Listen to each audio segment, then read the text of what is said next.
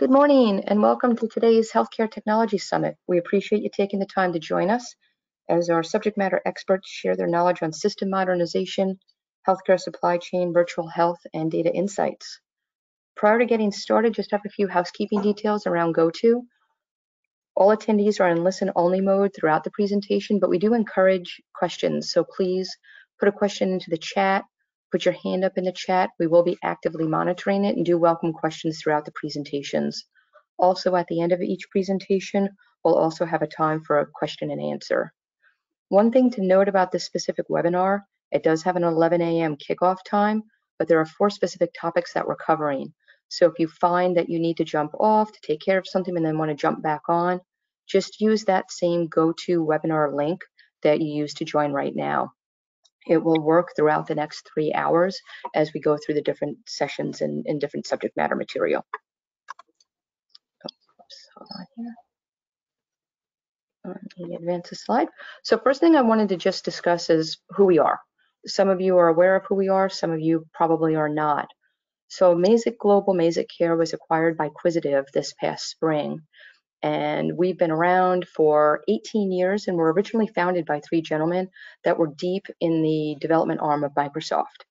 Um, they um, set out to create industry specific expertise and MazikCare was born out of that initiative to really use technology to drive better patient care, better health care, better healthcare operations. We are a global organization with offices, staff, and customers uh, located in several different countries. Uh, we have over 400 team members, and as you can see, we have a variety of different types of customers um, and healthcare organizations that, that we have supported over the years. One of the unique things about Mazik Care is that it's not a one size fits all. Because we have deep industry expertise and technological expertise to leverage, we're able to marry the two and provide very meaningful solutions that help our customers support ultimately their customers and their patients and providing good patient care.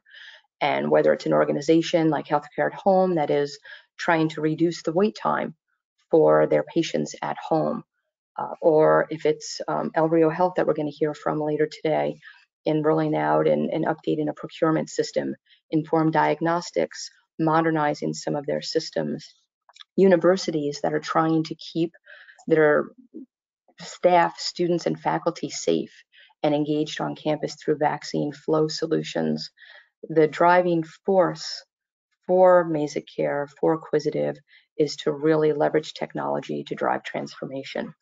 And we're very proud of the work that we do and very appreciative of the customers and partners that we have. And on this slide, you can see that 2021-2022 Inner Circle logo. It's our third year of being recognized by Microsoft, and that designation is reserved for the top 1% of partners that show a commitment to development, that show a commitment to driving transformation to Microsoft and to their end customers. So that's something that we're very proud of and um, feel very deeply in walking in our customers' shoes and providing those solutions. This is also something else that we're very proud of. This past year in 2021, we were recognized as the Healthcare Partner of the Year for the MazikCare solution and how that was able to drive transformative change for healthcare organizations. We were also recognized as a finalist for community response for our work around MazikCare vaccine flow, which helped accelerate the distribution of vaccinations for the overall health of populations. And finally, this is a summary slide of really all of the different touch points that we have with our healthcare solutions and how our solutions impact data, um, how we touch different points within the healthcare industry, supply chain, revenue management, and the biz app side, and cross over all three of the Microsoft clouds of Azure, Microsoft 365, as well as Dynamics 365. And with that, I'd like to introduce today's speakers. Syed Fahad, who's our Vice President, Product Development at Quisitive, Rob Carrick, who's our Vice President at Quisitive for Global Solution Development, and we're especially honored to have Dan Rosen, who's a VP of Technology Solutions at Inform Diagnostics. Dan is going to share the customer journey that Inform Diagnostics had along the lines of system modernization.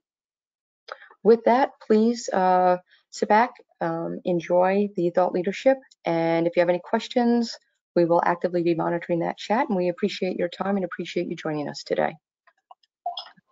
Syed, I will give you control of the mouse, and you are all set. Thank you very much, Sue, and thanks for uh, joining uh, everyone on the call.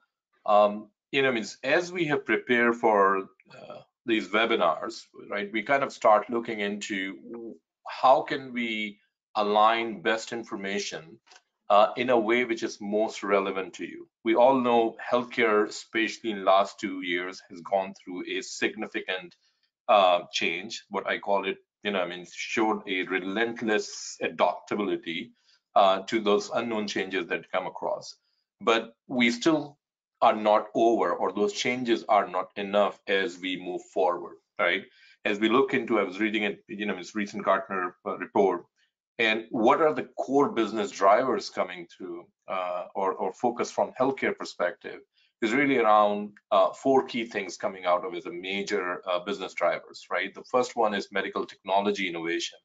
And what it means is that, you know, there are a lot of new therapeutic or digital diagnostic or new care innovation model is coming. And the providers in general or healthcare organization have to kind of start reacting and aligning to make sure that they're ready to deliver those, uh, you know, technology innovation within medical as an industry. The second key area is, is not just how uh, medical or delivery of care is getting a lot of new innovation, but just the technology around, um, you know, is, is, changing from cloud to data to AI, uh, especially based on the user adoption and the way uh, consumer looks at healthcare is significantly different. So that's the second area, what we call a strategic technology change is a core business driver. And the third area, especially for the providers, is this structural change where um, healthcare is now not bound within the four walls of a typical hospital.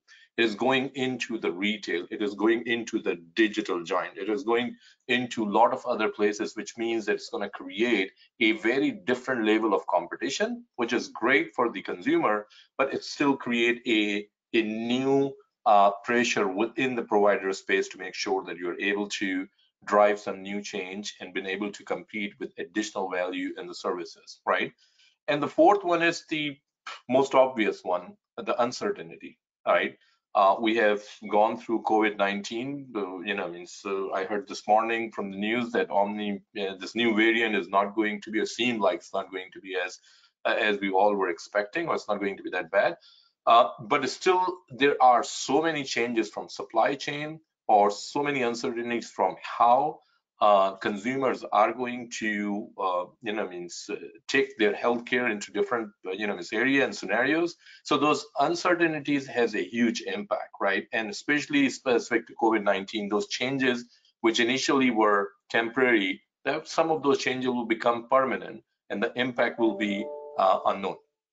So when we look into and we think about, you know, means what Sue has mentioned earlier from technology perspective, we're kind of trying to make sure that we're aligning or helping our providers to think first what the core drivers are, and then try to map the right solution for you to make sure that it makes the right impact. And that's kind of the approach every CIO, every uh, leader within the provider organizations, uh, you know, has to take to understand what those business drivers are and how is going to get impacted in each area.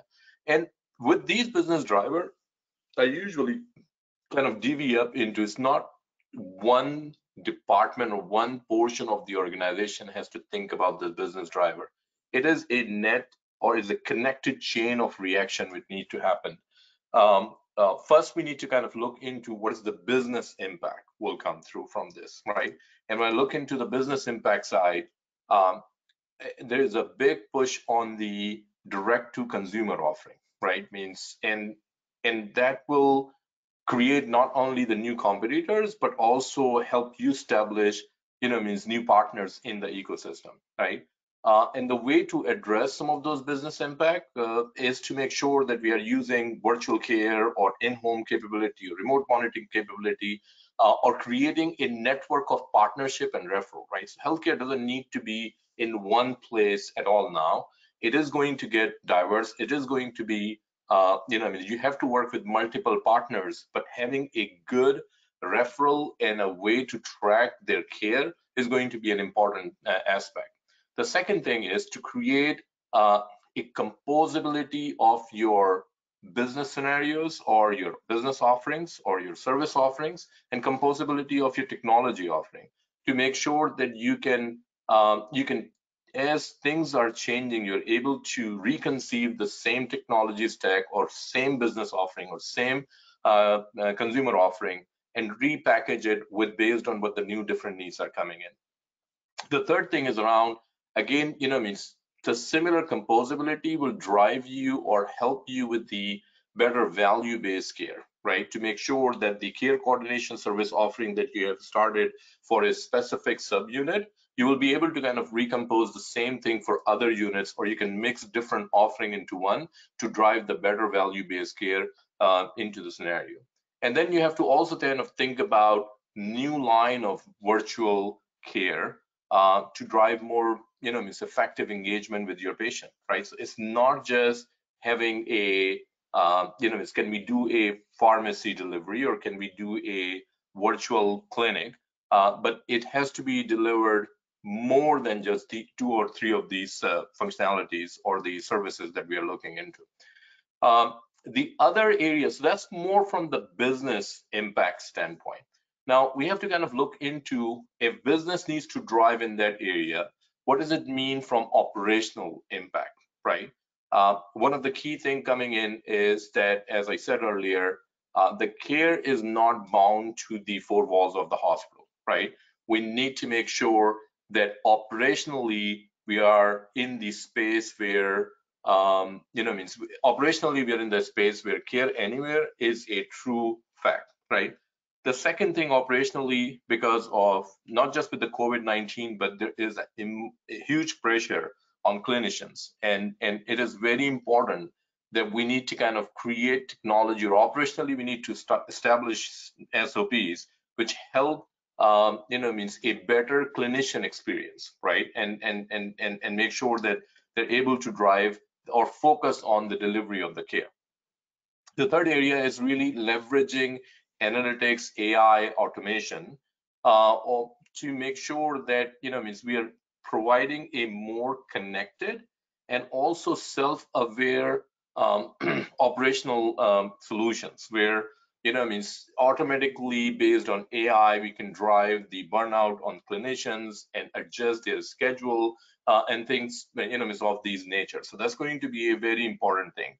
And as we have said, these new business models are going to drive uh, a need of much bigger um, you know means uh, partnerships and relationships and the interoperability is going to become an important aspect right that how do we make sure that we are able to connect with different partners you know means while we're campaigning or maintaining uh, the regulatory requirements and everything within that space significantly right so it's going to be a very important aspect uh, from that so we kind of talk about the business impact uh, we talk about the operational impact. If I take it to the third level, uh, which is which is really the core around the technology impact, and you will hear me say this com composable technologies. Um, this is where um, we are seeing with many of our customers, and as we talk to many CIOs and CMIOs, uh, there's one area which in Microsoft term we call it, you know, it's low code, no code Microsoft Power App platform uh, really focusing on to make sure you create uh, a composable cloud-based technology where you can actually be able to bring uh, different platforms or different solutions uh, pretty quickly, right? So that's an important aspect that we kind of need to uh, look into. And, and these uh, idea is that instead of we focus on one monolithic platform or a solution to do it all, we build on this composable modular uh, kind of platform which help you um, create new solutions or very quickly um, you know reconceive the similar solution for new use cases as we look into right? The second thing is going to be focused around the data fabric right? Everything is going to run around your data. And how do we bring MDM or CRM type solution to accelerate value uh, in curating, curating the data for use, but also been able to provide a better patient engagement or physician engagement uh, in each of these areas, right? The third one is uh, we all know virtual care is here to stay. It's not going to disappear anytime soon, but video itself is not going to be, uh, you know, means is enough, right? Virtual health cannot just mean that we switch on a video and that's enough. Uh, we're seeing a big trend where, you know, means the even though that during COVID just having a video was good enough, but today consumers want to have a similar experience of doing the pre, um, you know, means pre-visit, the post-visit, uh, the whole experience of a typical in-clinic session, but virtually. So orchestrating that virtual care, orchestrating that, uh, you know, means telehealth scenario um, is going to be important but we have to kind of connect it with the broader term of patient remote monitoring to make sure that we're able to get the right value to our consumer.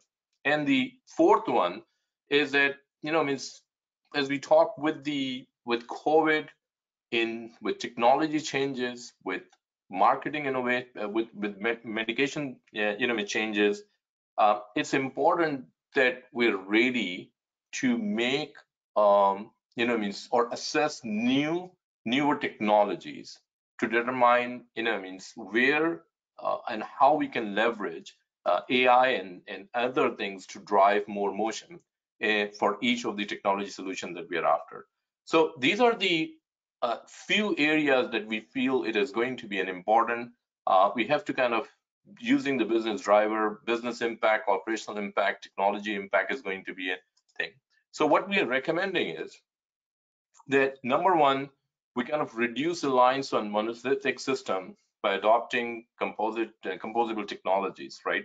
Having uh, technologies which can help us, uh, or a platform which can help us drive uh, the uh, the real or true value of a low code, no code kind of experience. Then harnessing the clinicians and other citizen developers to improve UX, right? So if um, there are areas where clinicians really want to have a simple screen, uh, allow them to have some kind of citizen developer experience to make sure that they can adjust it uh, based on their need and, and only focus on things that they are they're they're, they're more that's more important to them.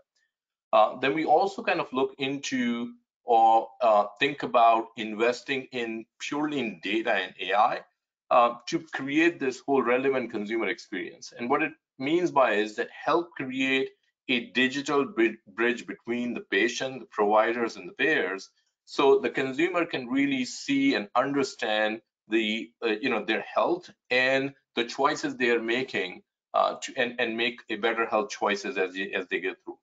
And the final one, um, final one is really to kind of start thinking: uh, Are we really a a true digital organization? Or what are the key activities needs to perform. You know, I mean, my friend Rob uh, is going to kind of go through some of those um, uh, specific steps could be taken, uh, but it is important that we are kind of uh, changing our reliance uh, from the monolithic system to a better, more platform.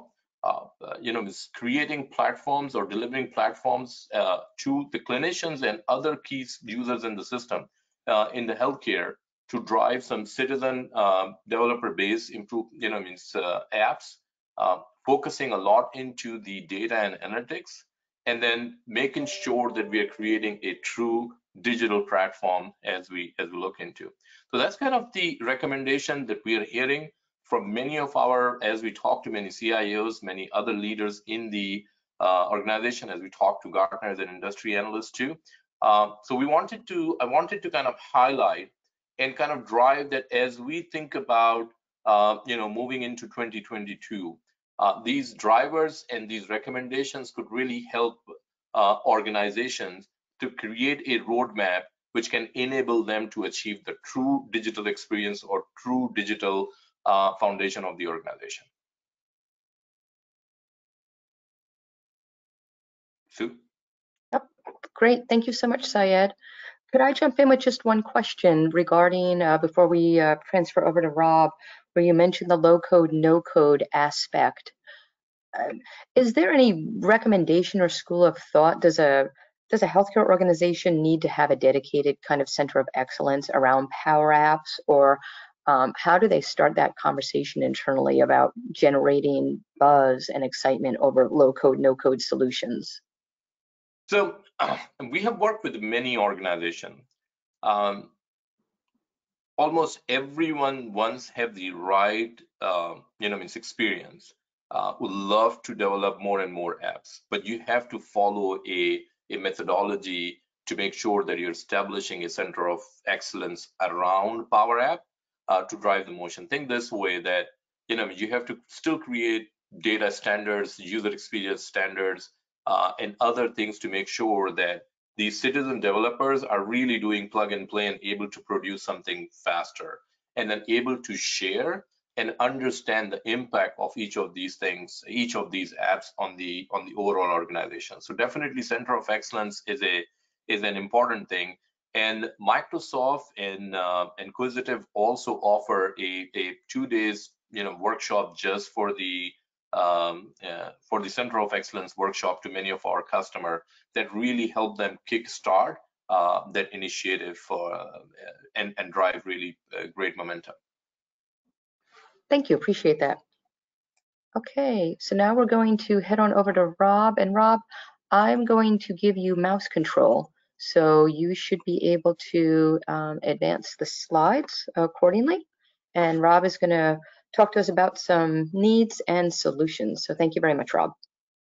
No, thank you, Sue, and, and thanks, Syed, and, and good morning or afternoon, everyone. Again, Rob Carrick with Quisitive here, and I think Syed really did a great job at kind of painting the picture of what we're seeing across the industry today in terms of trends and opportunities and challenges. And and I know for a lot of you, this is likely you're you could tell us the same exact story so what we wanted to do then is talk about that what does that mean? And when you face that kind of landscape what are we seeing customers doing? And, and really at the core of this is for Quisitive around how to deliver a connected experience.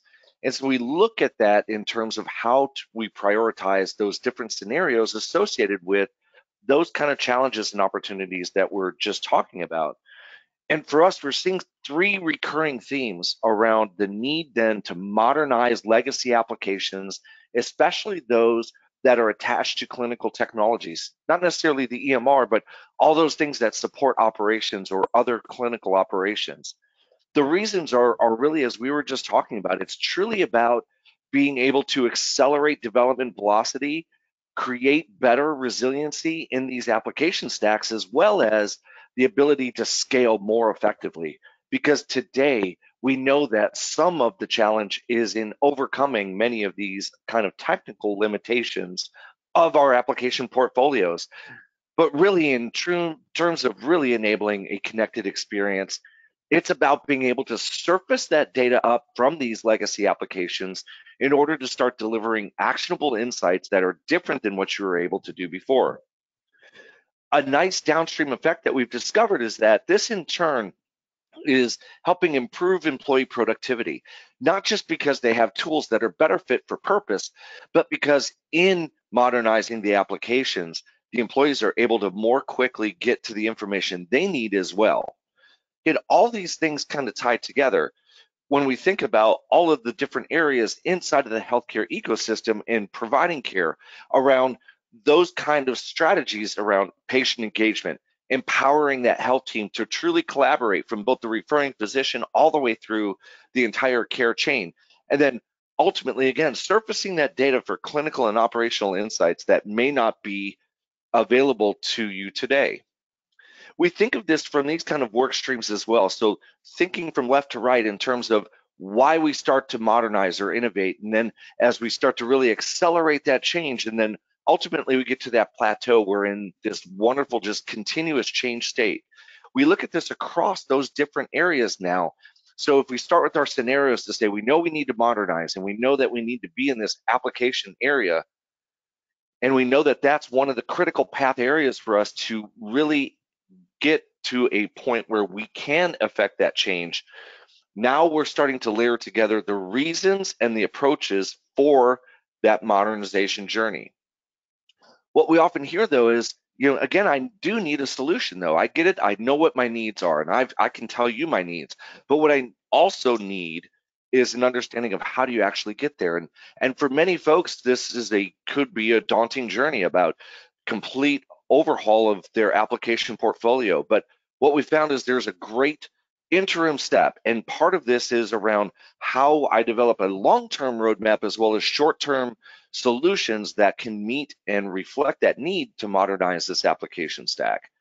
So when we think about this, it's very much demanding an agile approach now in the marketplace where it's not about just trying to take everything on at once, but how do I come up with that smooth change cadence? How do I use that modernization pipeline to give me that opportunity to reflect on my environment.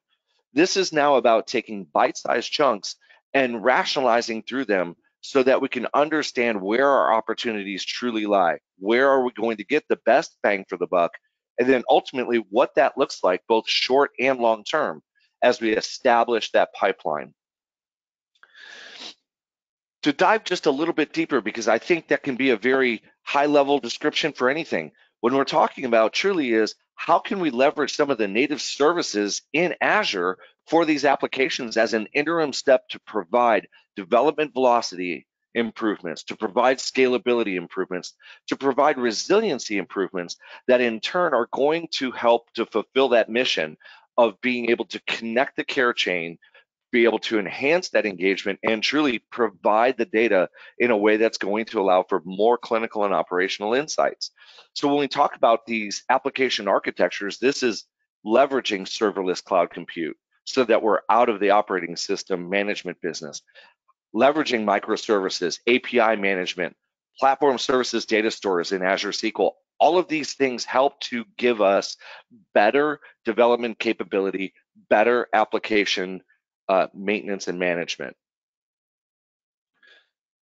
When we talk about modernizing the application at this step, again, outside of the, the full re, uh, re-application coding for that application, this is really truly about a tactical step now of provisioning those things in Azure. I share this because not strategically it's it's critically important, but tactically to recognize that there is specific steps that are taken to provision the resources, share the data across with Azure, so that that way there is a smooth pathway towards being able to migrate over to these applications in Azure. Is this the only answer? Nope, certainly isn't, but it is one of the answers that we know is a good short-term immediate lift that can help to improve the overall environment. When we think about healthcare and, and the intelligent health platform, we know we're looking at these four really, really important quadrants from lowering the cost for the care, improving the patient experience is always top of mind for every healthcare customer. But overall, it's about the charter of healthcare to begin with and improving population health, being able to use the data from the applications and the clinical systems for the benefit of the populations that you serve.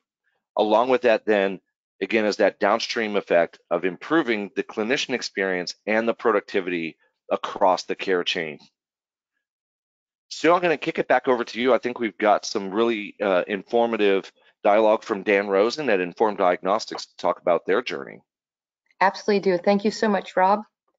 And that is a good lead in to uh, head over to let me get back some keyboard.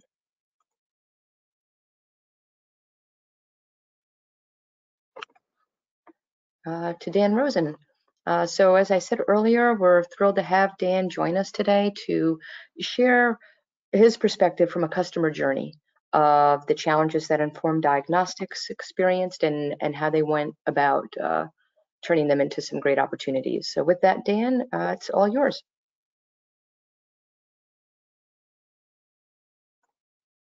And let's see here. Okay, we should be able to hear you now, Dan. I think that's better. Good? Can you hear me? Yes, we can hear you loud and clear. Thank you. Great. Good morning, everyone. Uh, as mentioned, my name is Dan Rosen, and I think what I can do over the next few moments is kind of unify what Syed and Rob shared with you and really showed you what we took on as a journey uh, starting back in 2018. Uh, so just for so you understand who we are, we are an anatomical pathology laboratory, which means that we don't have a lot of direct patient interaction. We are kind of a secondary healthcare um, and more of a business to business model, just to kind of paint the picture for you. Um, but in 2018, we started forward with a vision, and that was really to connect the art of technology with the science of our lab operations and pathology to improve and optimize patient care as well as client and employee experiences. And in 2019, that started with us creating the Transformers. These were strategic projects, each with their own favorite robot, that used digital transformation to improve our company and our services. And these transformer projects included technologies such as uh, replacing our laboratory information system, or LIS, replacing our ERP system, replacing our CRM system, replacing our HRIS system, uh, changes to our revenue cycle management, as well as then cloud architecture and data management. Now, those that's quite a daunting list there, but those first five you might recognize as more of your traditional application upgrades or replacements. But I want to expand upon our underlying strategy, and that was really to transform those core systems to be consistent with our company-wide platform architecture strategy. And I think that resonates with what Rob and Syed were both stating earlier is that we know today, especially, that there will always be these kind of monolithic applications that serve particular purposes, and they're very good at it. But the true value to an organization is how you unify that those together and facilitate the movement of data between those systems. So when we did this strategy, uh, we found a couple benefits right off the bat. Um, in addition to replacing these core systems, we actually reduced the total number of applications we had. Um, with our LIS replacement, we had four different LIS uh, solutions with dozens of smaller helper applications that can all be replaced by one uh, modern application. Within finance, when we did the ERP replacement, we took a small accounting package with separate supply chain, inventory, check printing, budgeting, reporting, and lots of Microsoft's most popular finance system, Excel. All of those could be replaced by a more modern application that better meets met our needs. Um, revenue cycle management's an interesting one that we actually looked at that function and how we were doing it and decided to completely outsource the entire operation. So we do not internally handle revenue cycle management directly anymore. That's provided by a third party. But in addition to those actual applications, the strong point of what we did was built a messaging platform or service bus to handle all of the data integrations between those applications. This platform is expandable and vendor agnostic. It allows us to integrate applications whether they're on premises, in the clouds, SaaS solution, or in the case of revenue cycle management, even handled by a third party. This is the definition of our platform architecture. And while we'll always have those applications that are fit for purpose, we have to realize that they function as part of our larger ecosystem. Some examples since then that we've been able to reap the benefits from is because of this platform strategy, it allowed us rapid expansion into new services as they came up. Uh, we built an entirely new service line for us to perform COVID testing in 30 days and is fully integrated into our existing ecosystem. Uh, before we took that on, we would not have told you that was possible. But because of the tech underlying technology, it was really easy to plug in additional growth opportunities quickly. And then the second one is that uh, we built a client's mobile application within 12 weeks and this is not a standalone application, but fully integrated to read our lab order statuses and integrated with our CRM environments. And while we don't have a lot of direct patient access, This solution actually speeds the delivery of data to the clinicians who are in front of the patients.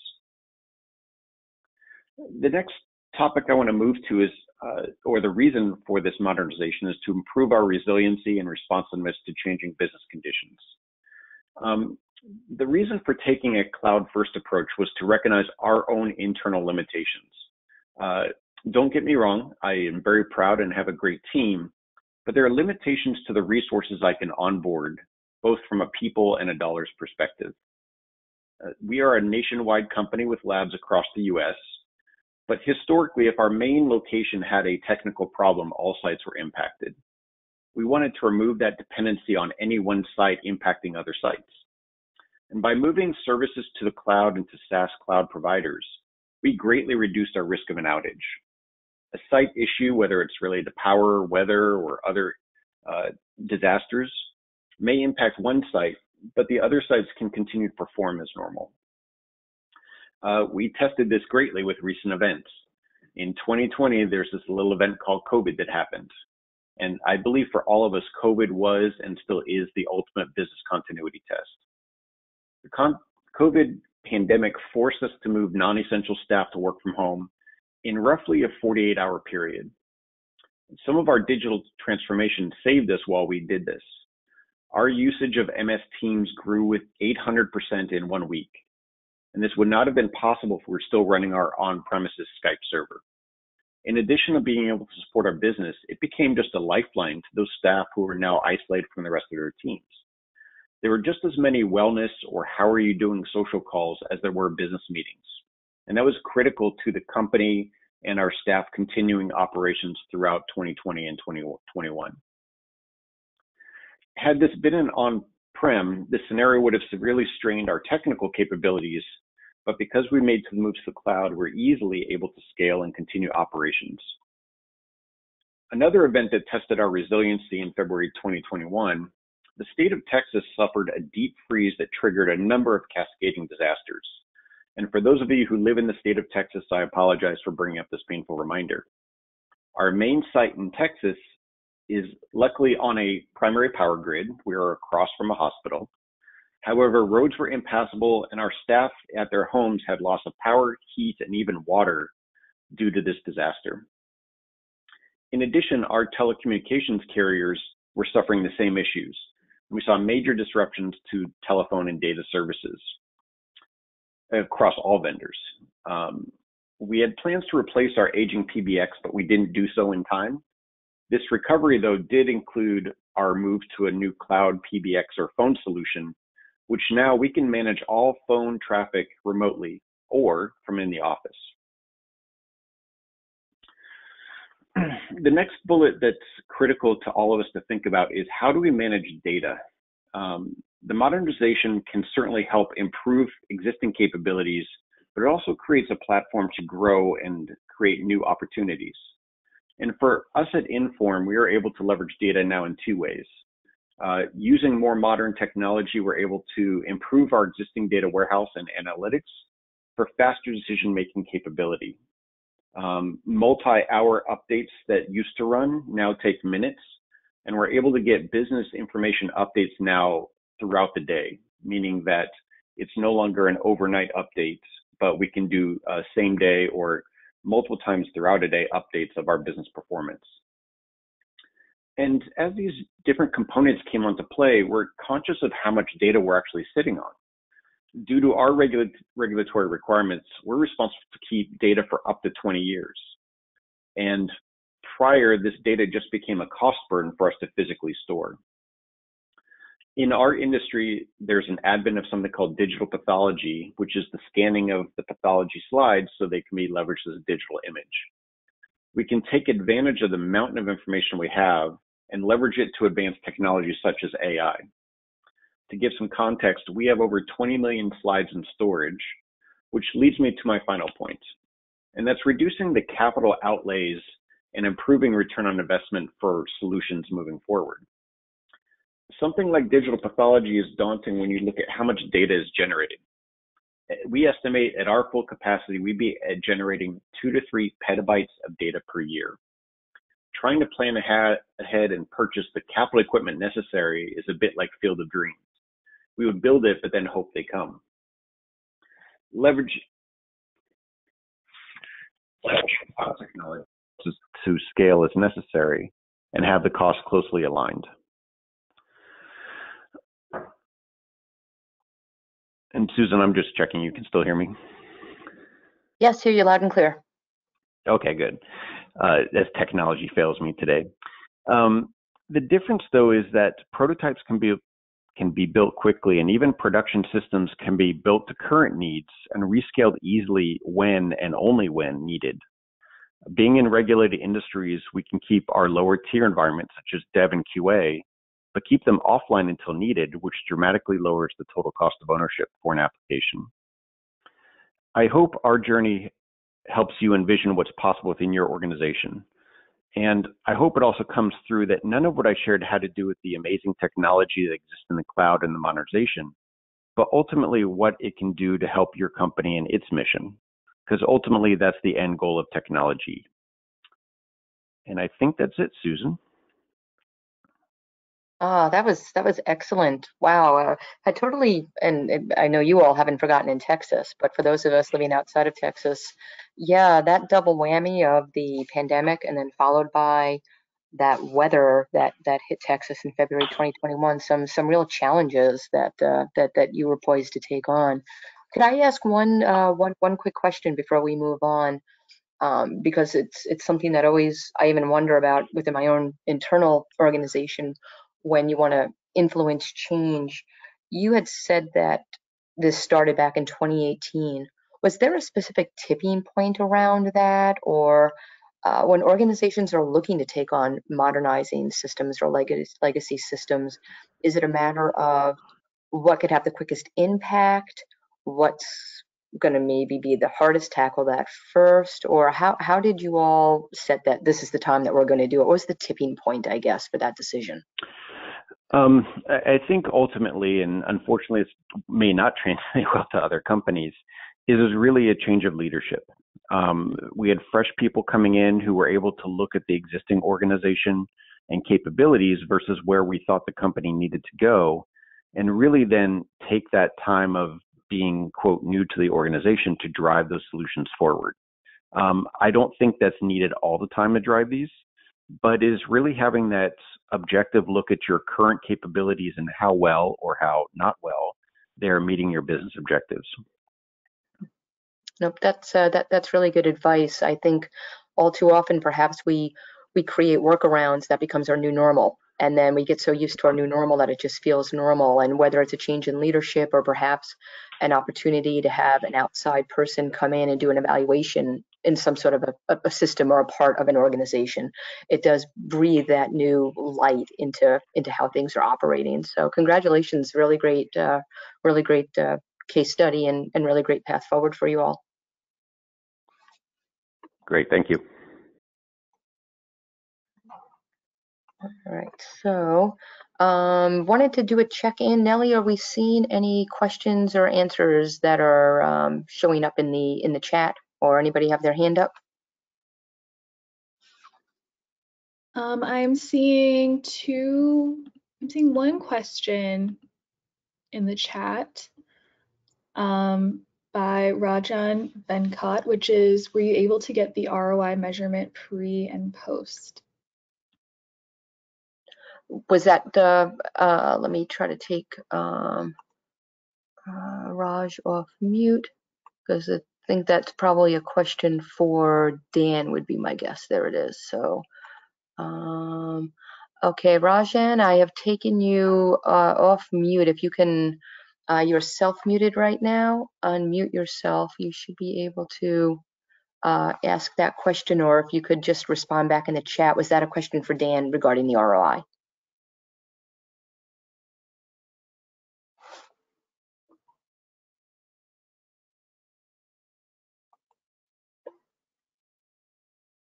Uh, yep. Okay. So we're gonna. Uh, uh, Dan, can you um, take that question?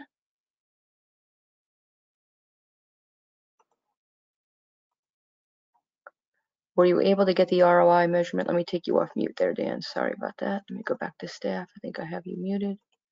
All right, Dan, you are unmuted right now. Yep, no worries.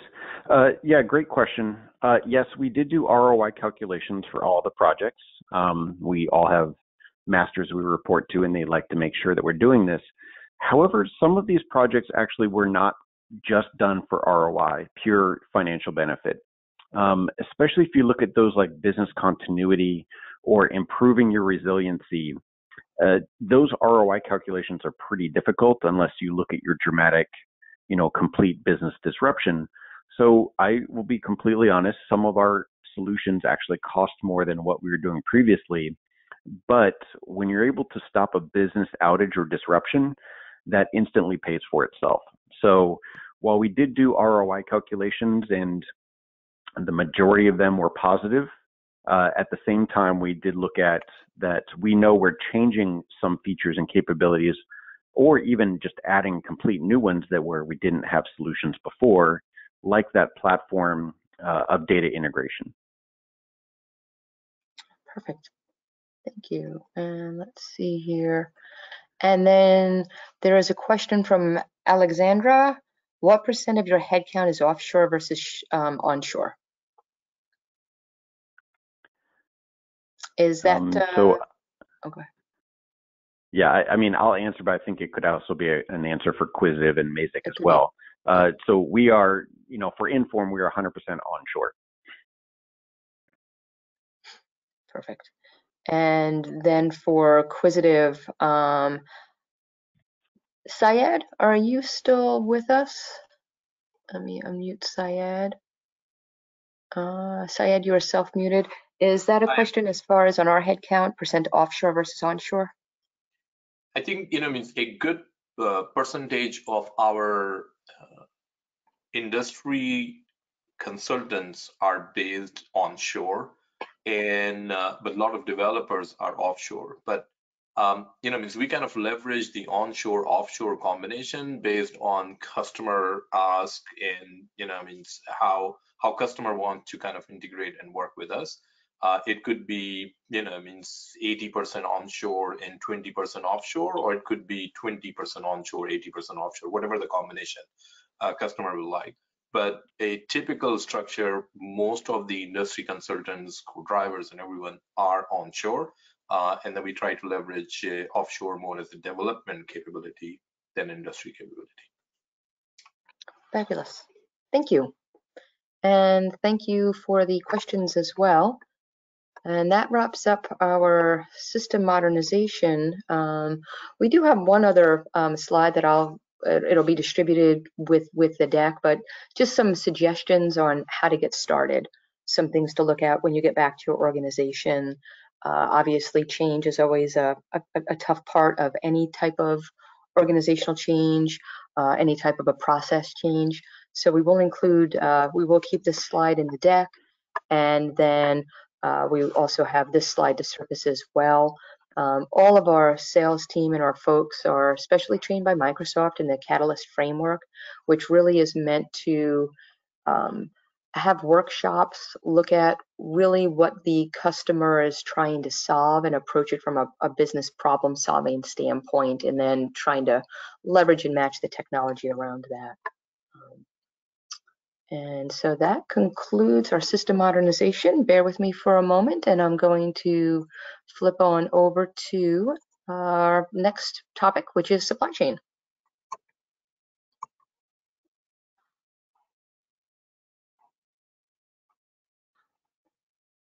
All right.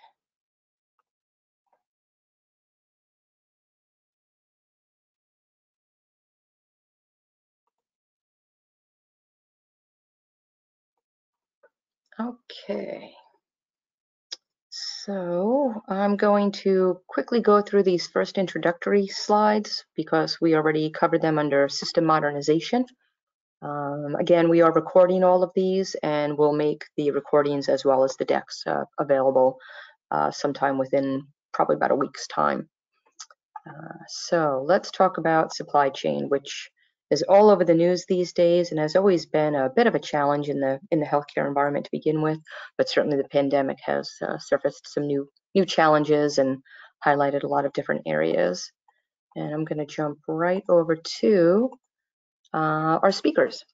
So we're thrilled today to have as our speakers Tim Snowball. He is the Director of Procurement from El Rio Community Health Center. He's going to share their customer story and the journey that they went through as they were launching and updating a procurement system. We have Pat Becker, who is our Chief Strategy Officer of Healthcare at Quisitive, and Kaushik Ramakrishna, who is our Practice Director of ERP at Quisitive. So with that, uh, Tim, I'm going to give you some keyboard and mouse control so that you should be able to uh, advance the slides, or if for some reason you cannot, just uh, flag me and I can advance them for you. But uh, you're taken off mute and you should be good to go. Great. Thank you so much. Uh, thanks, Sue, for the opportunity to present to the group today. And uh, thanks to Mazik and Quisitive uh, for all the work in putting these types of events together. always appreciated. Um, so see if I can progress the slide here. There we go. So El Rio Health is a community health center, a federally, federally qualified health center that, if you're not familiar, uh, got started when uh, we had the war on poverty from President Lyndon Johnson back in the 60s. And El Rio Health has been started since uh, that time in 1970 uh, to help combat that specifically here in the Tucson, Arizona region. Uh, the services that we offer are direct care to patients, you know, primary care, dental, radiology lab, pharmacy, behavioral health, and over the years have uh, had a slow growth for decades, and then over the last decade really vamped up and, and started to provide more services to our patient population here in Tucson. And uh, with the help of you know really focusing on what is needed for providing the right care to the right people and uh, taking advantage of all the payers and Medicare and Medicaid that's out there, we're able to be a pr profitable organization to always reinvest back into our organization uh, and really have grown to what we call a medium-sized organization, right, with $250 million revenue approximately per year. I just wanted to give a little bit of background on who we are and, and where we've kind of come from as an organization uh, so it makes sense on the supply chain side and what we've done and where we've come to be. A little bit of history on um, the supply chain side. Trying, trying to progress the slide again here. Let's see here. There we go. Sorry about that. Um, so for the first 45 years, supply chain was not supply chain. I mean, how many people knew what supply chain was, you know, decades ago? It's only been in the last probably uh, 10 to 20 years that people have focused on uh, supply chain being its own organization with, you know, department within an organization. And that was true for El Rio as well. Uh, we were under the umbrella of the facilities management team for quite some time, 45 years, and only six years ago did purchasing become their own department and reporting structure. Only a year ago did El Rio invest in additional leadership and starting to really hone in on what is needed to ensure that the supply chain is healthy for El Rio's success. And again, why was that necessary? Well, we've had a lot of growth over the last 10 years as we've seen our volumes increase dramatically with uh, about 450,000 encounters per year, um, uh, serving over 10% of the Tucson population. And uh, it really is seeing a growth as we've expanded our services to more supply chain items being utilized. Uh, coming from my background in hospital supply chain, it doesn't quite compare. Uh, hospitals are more robust and have more complexities than a community health center would. Uh, but nonetheless, the importance of being in tune with your supply chain is equally important to ensure that we can always provide that care. So as we've grown, it, it got out of grasp a little bit and we needed to rein that in and, and focus.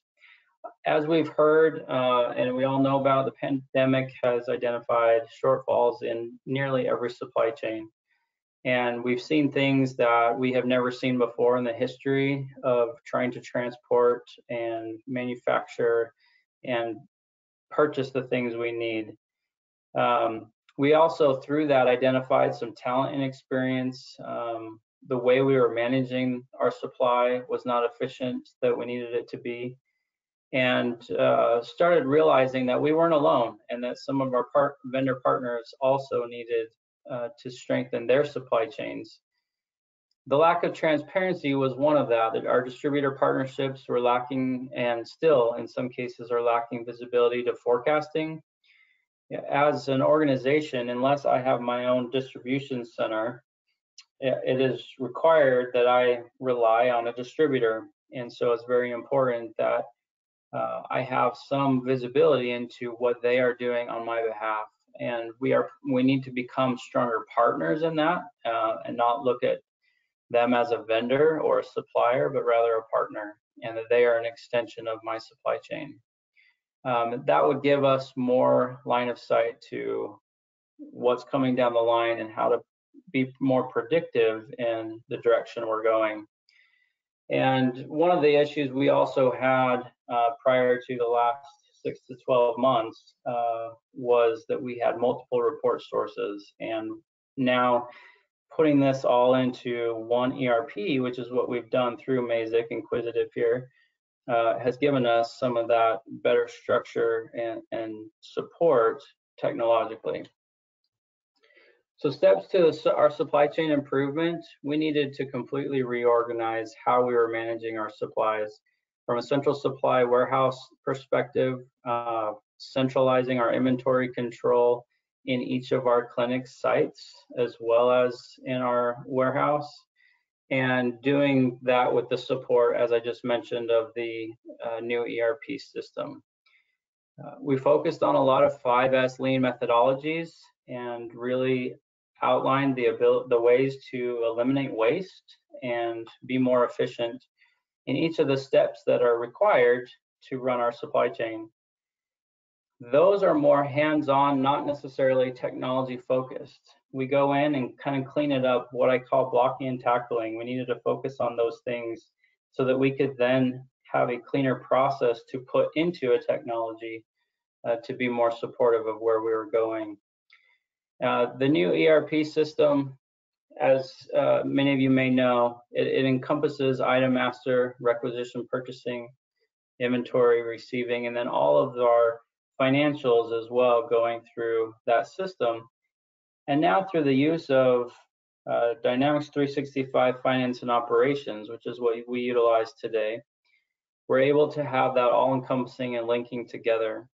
We're in our infancy through that process, but we are seeing great immediate results in more transparency, more visibility, better reporting that allows us to uh, build up to a place where we can hold more accountability to uh, ourselves in you know tracking against the budget and being predictive in how our inventory levels can be appropriately stocked and ensuring that not only do we have enough, but also equally importantly, not having too much, as that was an issue for El Rio prior to this uh, reorganization. So some of the benefits that we've seen come out of this uh, that we're going to continue to work upon and, and bring forward for ourselves, El Rio, are these things listed here. Warehouse items, uh, we have continual movement. We're seeing orders come in, transfer orders come in, we're able to pick and process and ship those out with rapid speed, at times uh, delivering the product within hours of the order to our end users. Uh, we're able to have automated automated reorder levels for our warehouse, uh, so everything running on a min max and as simple as clicking a button, we can see how much have we used, uh, what is needing to be reordered, and keep that uh, stock sufficiently in place for us uh, to ensure we can always provide that to our end users when it's needed. Um, our PO confirmations, uh, they're a lot more timely and available to us. Uh, again, that transparency, we're able to now, through the use of uh, CXML orders transitioning back and forth through the vendor, we're able to see if something was wrong with the order and take action on that. Uh, and it, we always have uh, sufficient stock on hand now, or if we see it starting to slip, again, we have that time that we can uh, start to put in and ensure that we never get below our critical levels uh, to have items in, in hand. A great stat that we look at is uh, we managed, looked at how many hours were being spent by clinical teaming, teams when they were managing the supply chain, when they were placing orders. As we've now centralized that, we've been able to free up over 5,000 hours a year of clinical time to put back into clinical activities. And we've been very successful in what those end users are able to see and feel through our use and their use of this new system. Uh, we're working towards a 95% plus uh, of purchases being placed on purchase order. Um, part of that need for us is that we can instill proper controls through the system with an approval hierarchy that we put in place in the system uh, to allow us to ensure that the right people are made aware, yet empower our leaders uh, to run their business appropriately uh, towards their budgets.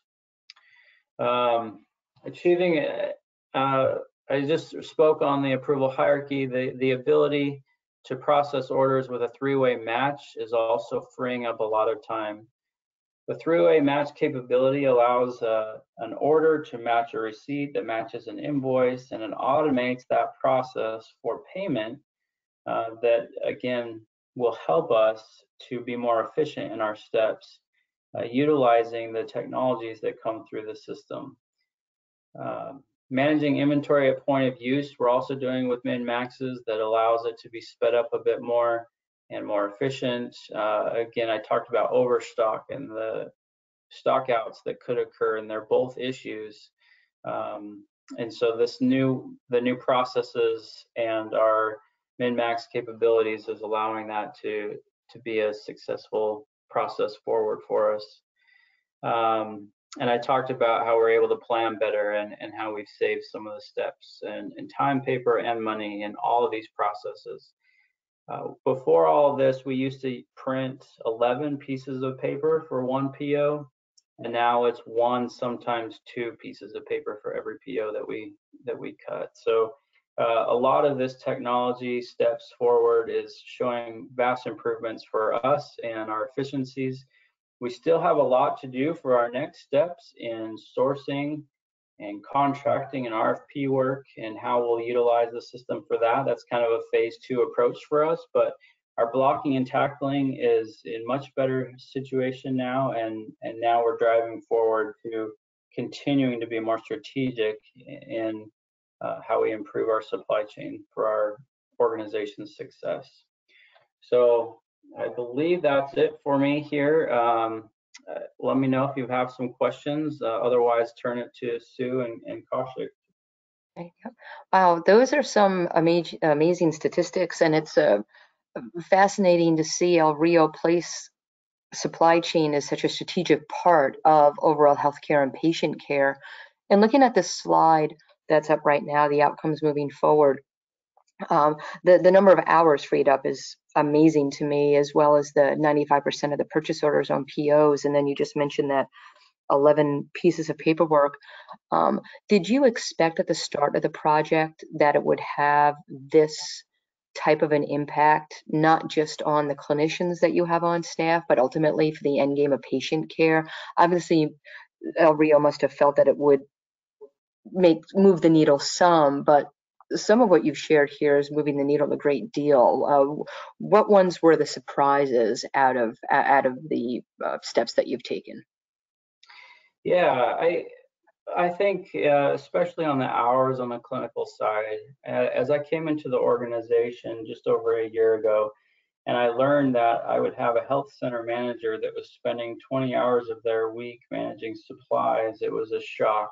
And um, I think that as as we recognize that that registered nurse or whatever their role clinically licensed is, they didn't go to school and college and all this training to be a supply chain inventory specialist. So Hmm. uh, we need them to be at the front of our patient care and uh, having these new processes and system in place has allowed that to be freed up across the organization and that's the largest benefit um, but the paper too was a, a big surprise when I came in and saw how much paper was everywhere in our processes and to be able to eliminate and shrink that down and have things become more efficient with that was a huge win for our for our organization. No, absolutely, absolutely. Great, uh, uh, great, great journey that you've been on, and uh, e- exciting to hear that your journey is still continuing as well, and uh, looking for ways to still, you know, im- im- improve on everything around procurement, materials management, and ultimately to drive that patient care. So thank you so much for sharing that with us. Absolutely. All right. Uh, Nellie, do we have any other questions for Tim that are out there? If not, I will move on and introduce uh, Pat is up next. I'm not currently seeing any questions. All right, let me get Pat off mute and move forward here. All right. So the importance of supply chain management in healthcare. Uh, Pat Becker is going to take us through this part of the session. And Pat, uh, let me give you keyboard control. Would you just, I'm sorry. you keep the keyboard control? Oh, okay, absolutely. I will continue to move forward. So, okay, here's your first slide, and just let me know as to uh, how to advance them. Okay, thank you so much. Uh, It's, it's going to be hard to follow the great story that Tim just told, but uh, that is a yeah, amazing, amazing. best here. So as we all know that the supply chain is like the second most um, cost within any healthcare, uh, especially hospital organizations. Um, the, the first cost, of course, is, is staffing. Um, so we can see that, you know, the, the cost is on average 37%. Um, millions are spent annually and um, oftentimes we have no idea of exactly how much we have on hand at any, any point in time. So um, I'm not going to read these slides to you, but so would you go to the next slide, please? Sue?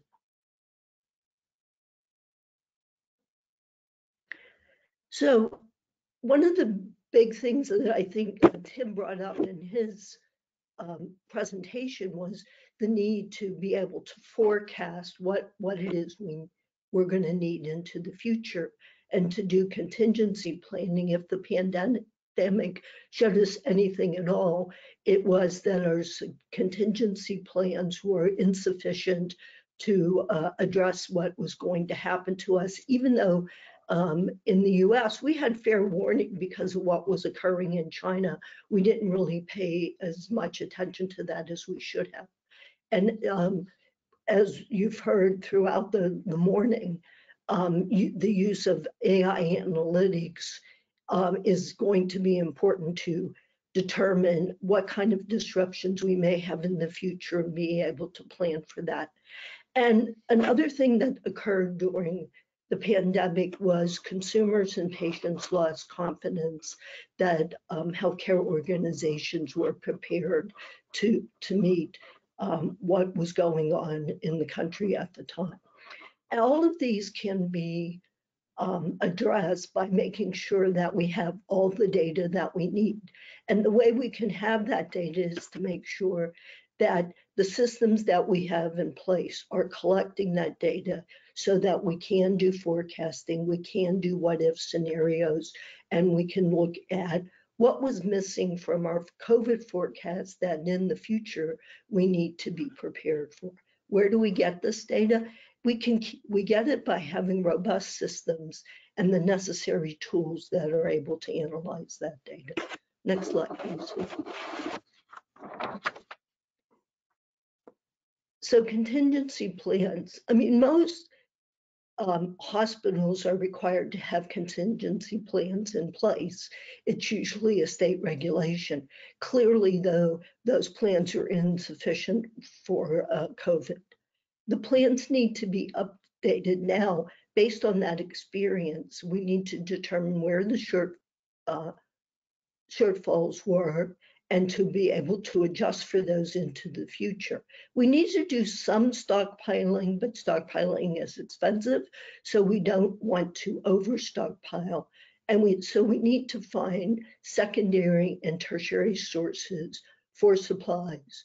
Uh, one idea that's come out is, you know, to work with um, hospital organizations like your GPOs or uh, other organizations you're involved in and determine if there are you can partner with organizations in other parts of the country um, so that if you run low on something and they're not facing the pandemic quite yet they can supply you knowing that you'll reciprocate when they knew when they need it in the future.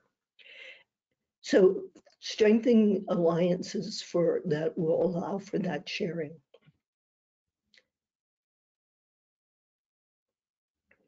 I mean, you can barely pick up a newspaper at this point in time without reading about issues in the supply chain.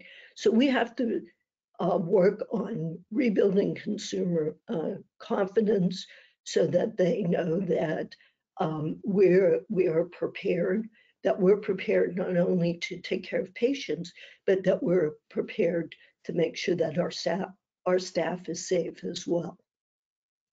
Um, so that will require some marketing of your organization um, to keep um, people from being afraid to come into the organization at this point in time because they're going to know that you're prepared moving forward.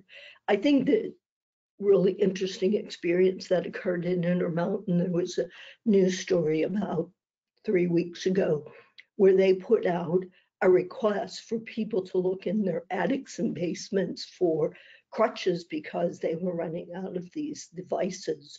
And so they were asking people, particularly to bring in metal crutches or other walking assisted devices that they might have lying around their home to help them fill that need. To me, that was a being very proactive and showed that the organization was thinking ahead. They knew they had a shortage. They probably looked everywhere they could to find these things. And so finally, they were just very honest and went public with it. So I think that was a very a positive thing for them to do. Next slide, please.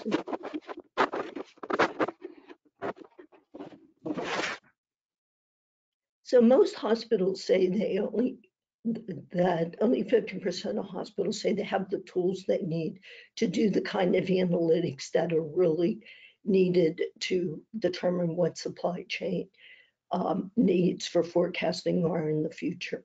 So forecasting it sort of is a predictive way of determining what you need in a month or two months, or if you're a seasonality, like when there's a flu epidemic, but it can also help with predicting what you might need during the next crisis. Again, demand matching, um, optimizing the logistics, making sure, Tim talked about this in his presentation. Now that um, they have a robust system, they're able to have continuity in their supplies. They're not having shortfalls like they once did. And then automating basic tasks that um, you may have uh, a human performing at this point in time. Next slide, please. Supply, supply chain supports patient care, as we all know. It, uh, it helps with making sure that the physicians have the equipment they need to provide patients with the care they need when they need it operational analytics then allows us to predict what is going to be needed into the future. And clinical analytics allows us to marry the clinical knowledge with the operational knowledge so that we're sure that we have the, the supplies there when patients need them and the care providers uh, have what they need to do their work. I think we're turning it over to Project. Uh, yep, absolutely. Thank you so much, Pat. Uh, appreciate that. Let me get uh, the next slide advanced here and take Kaushik off mute. All right, here we go. Challenges, opportunities, and objectives. Kaushik, do you want uh, keyboard control? Uh, no, so you can drive. Um, just Okay. over to the next slide. Yeah. We can hear you. Uh, what did I lose? Did I mute you by accident? There we Uh, go. I Got you back. Okay, so? I'm gonna advance to the first slide in your section then, okay? Okay.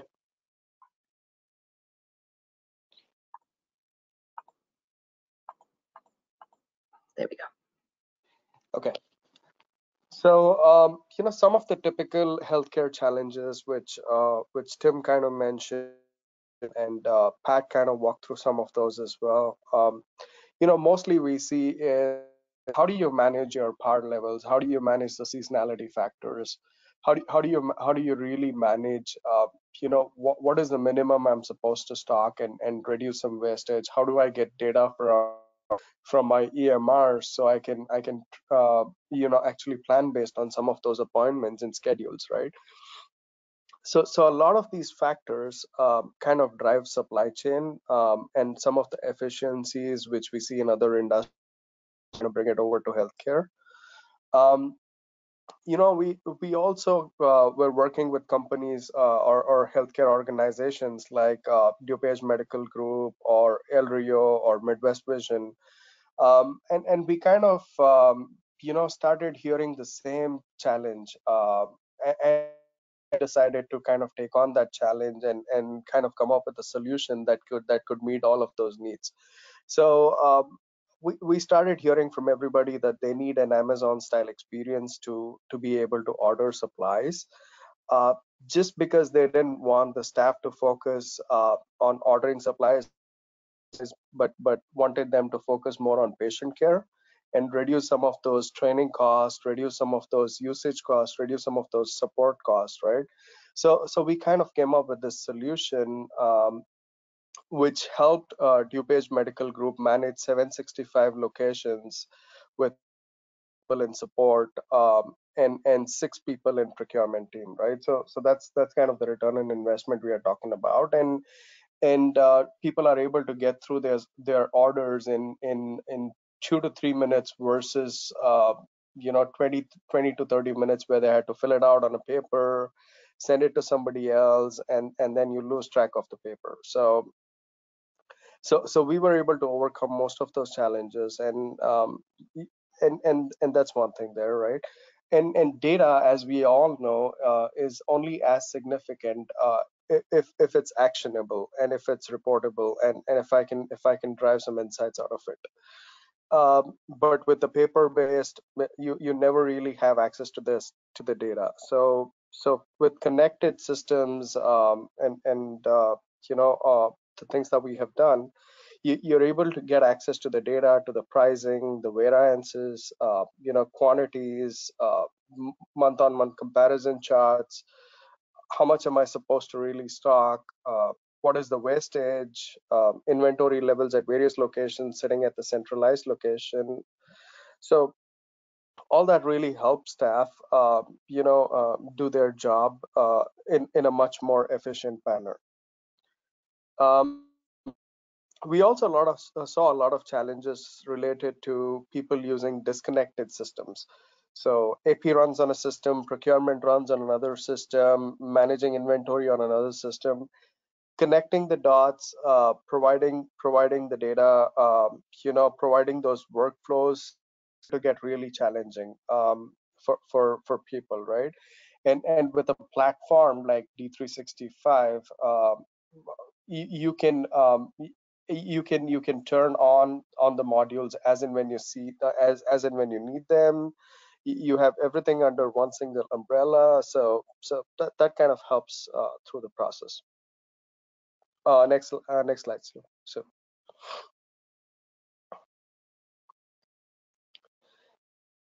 So, um, you know, as I mentioned, um, and, and as Tim kind of spoke about on his slide too, um, the the opportunities that we have for SCM is uh, is kind of huge. Here, um, where you know the EMR stores the item numbers and the catalogs in one format, and then you have your uh, procurement and supply chain system storing it in another format. So we try to uh, kind of uh, you know try to build that uh, integration layer and try to merge these data together um, so the procurement team um, and, and, the inventory team get real visibility to what's happening uh, at the at the patient level and what's happening at, at the warehouse level, what's happening at individual clinic, right? So so that that gives you a, a detailed approach, um, and and we also kind of uh, you know um, eliminate the need for a year-long implementation cycle. Uh, you know, um, where you have 10 different training iterations and people are still not using uh, comfortable using the system um, they're getting frustrated right so uh, a simplified experience and and decoupling each process uh, kind of helps uh, navigate those issues. And and it helps in faster deployment systems and and easy support process. Uh, you, you don't need a 20 member support staff to to kind of support people right? So so that simplifies it.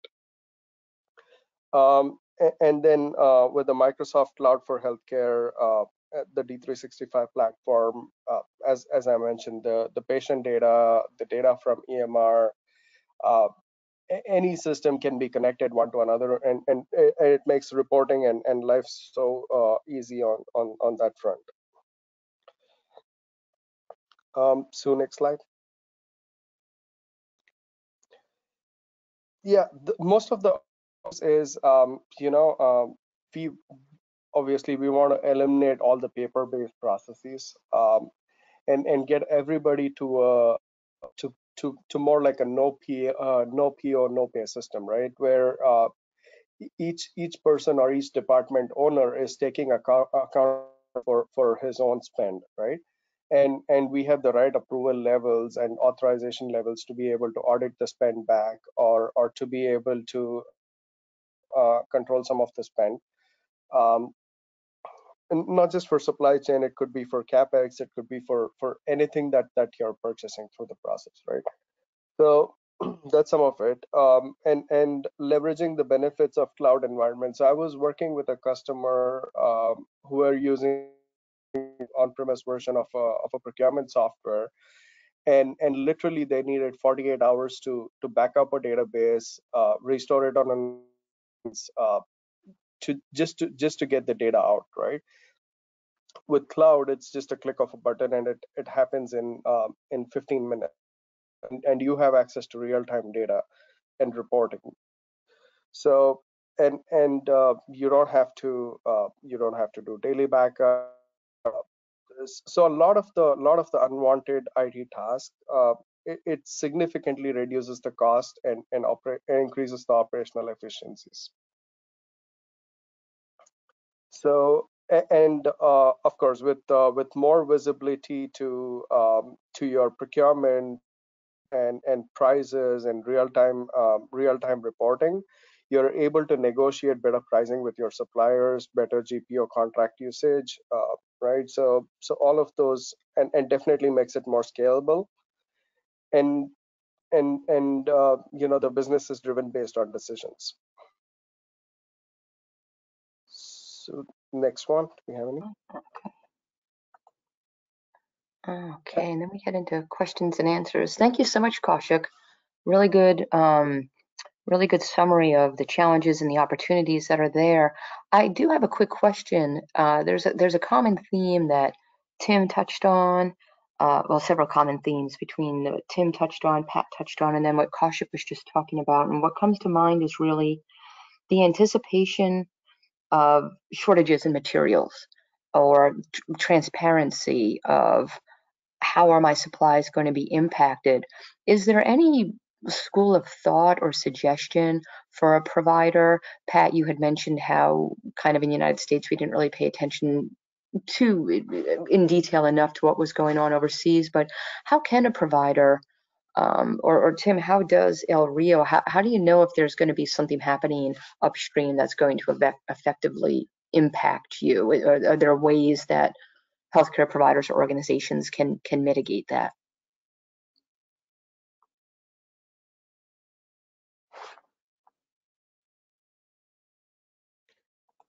I'm not sure if, if anybody wants There to. we go. Can oh, you hear me sorry now? about that, Tim.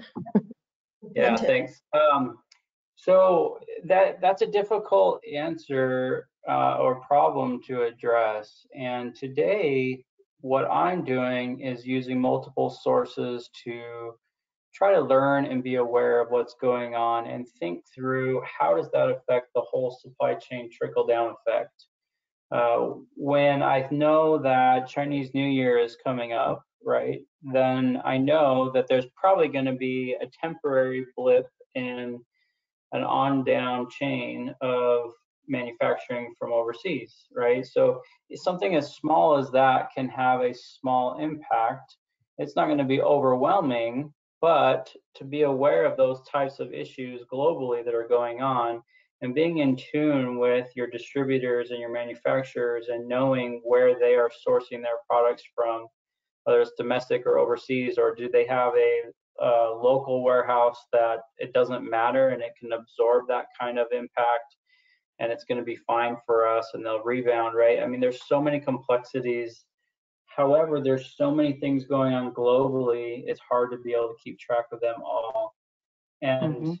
I, it's something that I'm actually looking to research more and get invested in is I have heard of organizations out there that have global supply chain implications that you can look at.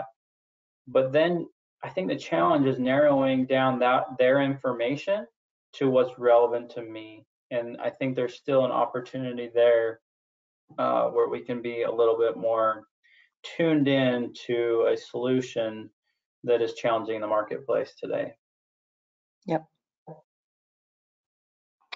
Thank you. Yeah. And I think, I think too, also, you know, people need to go and look at where they had shortfalls when the pandemic hit and how they might be able to mitigate that in the future. Um, and, and to do real serious scenario planning. Uh, and then look for alternative, um, suppliers, um, that they can have in their back pocket. Mhm. If, if their primary supplier, uh, fails to come through. Yeah, Yeah, no, if, great. if I may, one other comment. You know, I think the gut reaction is to start to essentially hoard, right? Maybe open up my own warehouse and start to keep it all myself so I know I can take care of myself, right? Or, or our organization. And I think that there's some value in doing that maybe as a temporary fix to an extent.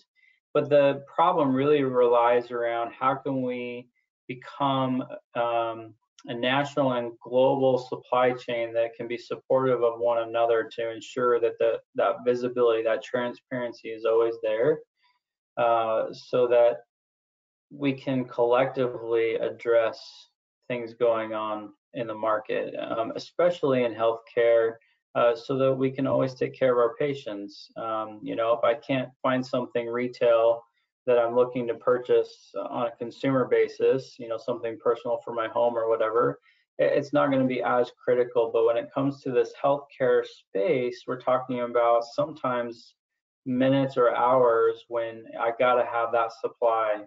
You know, I, when I was in the hospitals and and there was a surgery going on, uh, you know, there's times where it's a matter of minutes that you've got to have that supply on hand, and if you don't, there's going to be a critical outcome to someone's life. And um, you know, being that this is a healthcare conversation, it's something that I'm passionate about, and and I think that um, we have to, as as an industry, find a way to get everyone on the same page to be more transparent, uh, so that we can plan better. And that is still a challenge a little bit today.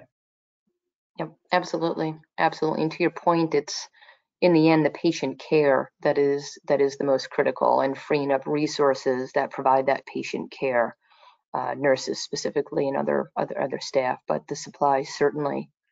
So it'll be interesting to see the to Pat's point, the lessons learned coming out of the the pandemic and how healthcare supply chain can work to drive that transparency for the for the greater good of population health. It's uh, very very interesting.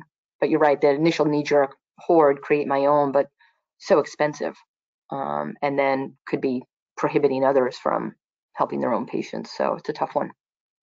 Yeah, I think since we, I think we have Intermountain Healthcare on the line and some other good healthcare organizations. Thanks to organizations like that that help drive this at a larger scale and get on that political campaign. So thanks to all of those healthcare organizations that help drive that.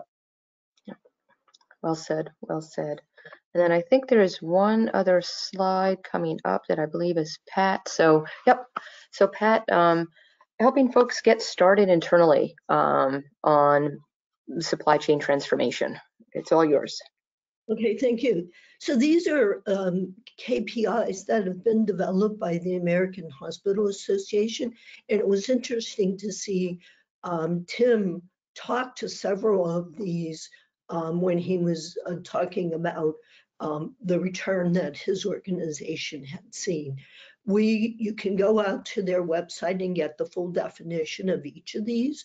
But if you're looking for a way to start, you need to know where you are today and where you want to go. So looking at these uh, different elements within your organization, Tim talked about wanting to get to 95% of, of supply purchasing going under PO. So how much of your spend is currently managed spend as, as opposed to unmanaged spend? How many FTEs do you have in the supply chain versus um, you know, your total uh, non-labor expense. So um, we will include this slide and um, you can see the source is, is on here as well. So that's our recommendation. Know what you're doing today so you can improve moving forward. Thank you, Sue. Perfect. Thank you. All right, and that concludes our section on supply chain. Do we have any questions in the chat or anybody have their hands up? At the moment, I'm not seeing any questions. Okay, then we will move on to our next topic of virtual healthcare. So let me stop showing my screen for a moment while I get that teed up.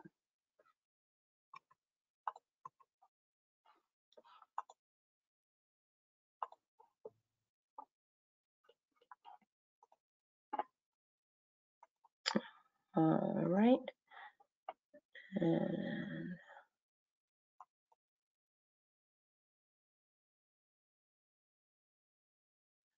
let me see here. Slideshow from beginning.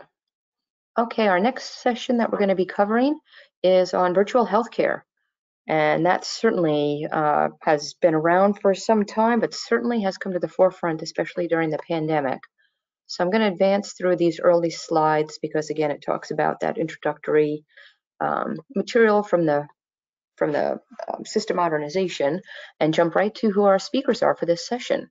So we are very fortunate to have Antoinette Tony Thomas, who's the Chief Experience Officer of uh, Microsoft for their um, US Health and Public Sector. Pat Becker, our Chief Strategy Officer, will be joining us again on this session. And then Suresh Krishnan, who's our Chief Technology Officer for Healthcare at Quisitive. So let me uh, get Tony off of mute here. So Tony, you should be able to unmute yourself. And I'm going to give Hello. you control. Hi, Tony, we can hear you loud and clear. Pardon? Oh, can hear you loud and clear. Thank you. And thank you so much for, for joining us today. We very much appreciate um, all that Microsoft has done with the Microsoft Cloud for Healthcare and other industry clouds and providing such a great, uh, in providing such a great, secure and scalable um, um, cloud and look forward to hearing your um, slides on virtual healthcare. Thank you for having me.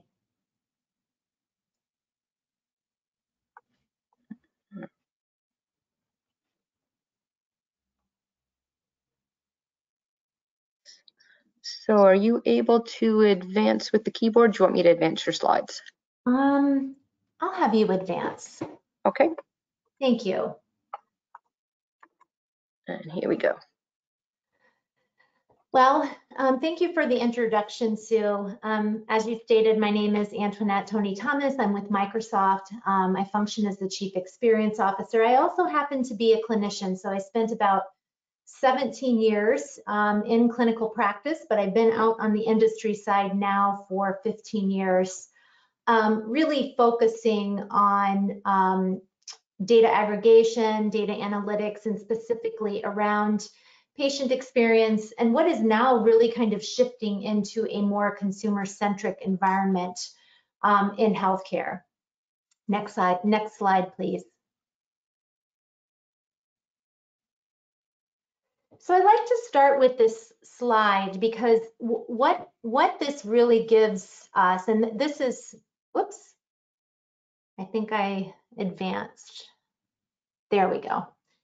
What this really helps Microsoft give you all is, um, you know, what we have been working on as far as what a journey looks like for a healthcare consumer, which we like to call health citizens. There's a great author out there by the name of Jane Sarasohn-Kahn, and she has termed the lingo of health citizen. And I think this is really the direction that consumers of healthcare are heading.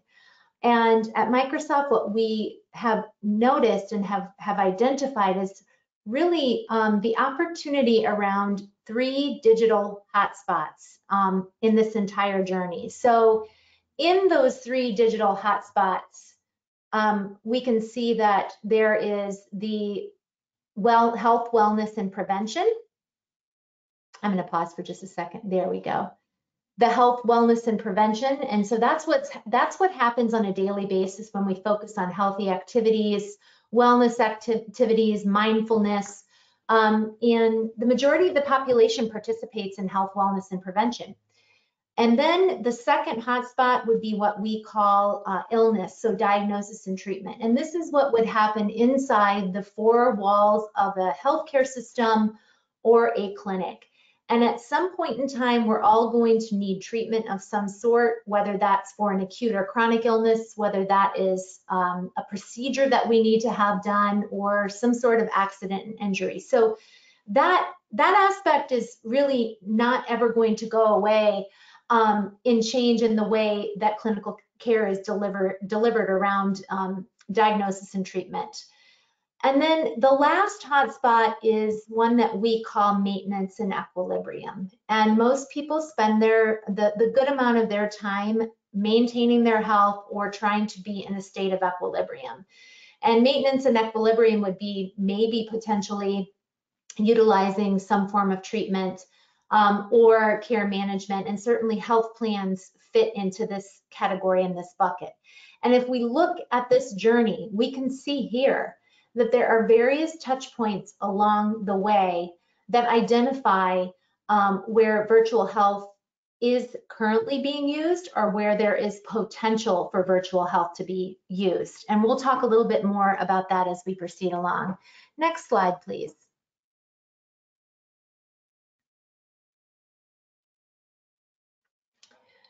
And I know you're all on this you know, this webinar and you're all leading healthcare systems or leading some sort of operations in healthcare. And so you're keenly aware of the current landscape that we're in.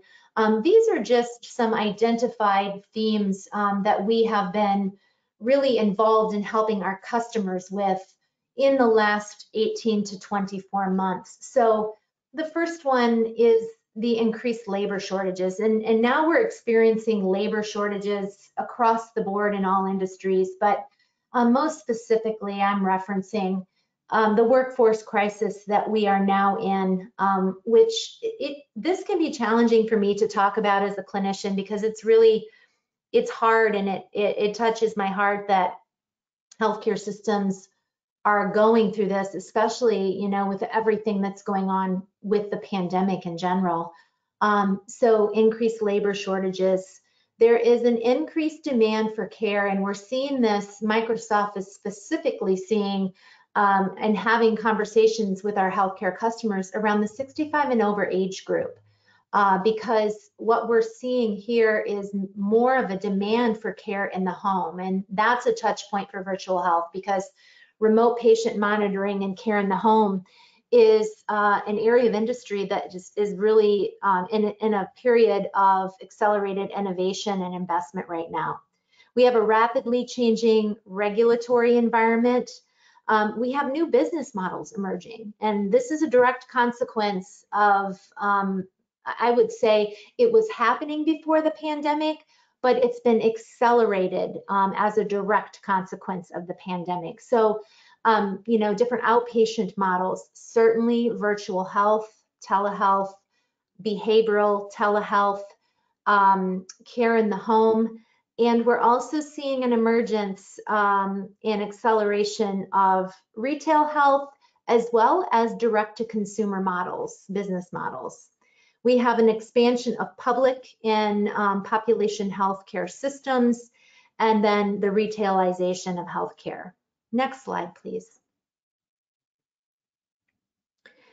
So what we have we've done is we, we've taken this landscape and we've really assessed it and monitored it and we've we kind of have distilled it down into four different buckets here um, that we have noticed as far as business dynamics. And this is important to talk about in the world of virtual health and how healthcare healthcare models have changed specifically in traditional healthcare systems. So there is this um, this this pressure uh, for revenue growth. Um, we have uh, more focus on population health management, certainly around value-based care models and how how's how's virtual care being utilized um, in our um, private insurance payers. Um, and certainly there is a keen eye on what will happen um, long-term with Medicare and virtual health outpatient model pressure. I mentioned that a little bit earlier around these different business models that are emerging and not only emerging, um, receiving a significant amount of um, venture capital dollars or investment dollars for innovation. So I think this is something to really keep our eye on as an industry because um, the puck is moving very fast on the ice as far as that, that is concerned. And then value-based care. Um, so we know up to 30% of our current healthcare do dollars or spending is wasted.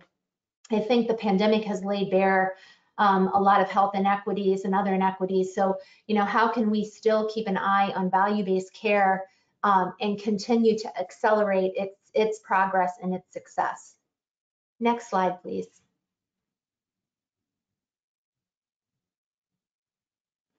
So winners in the post-pandemic health economy, um, I use this slide to talk um, to various organizations um, inside traditional healthcare, but certainly also health plans and also um, retail health organizations that I work with.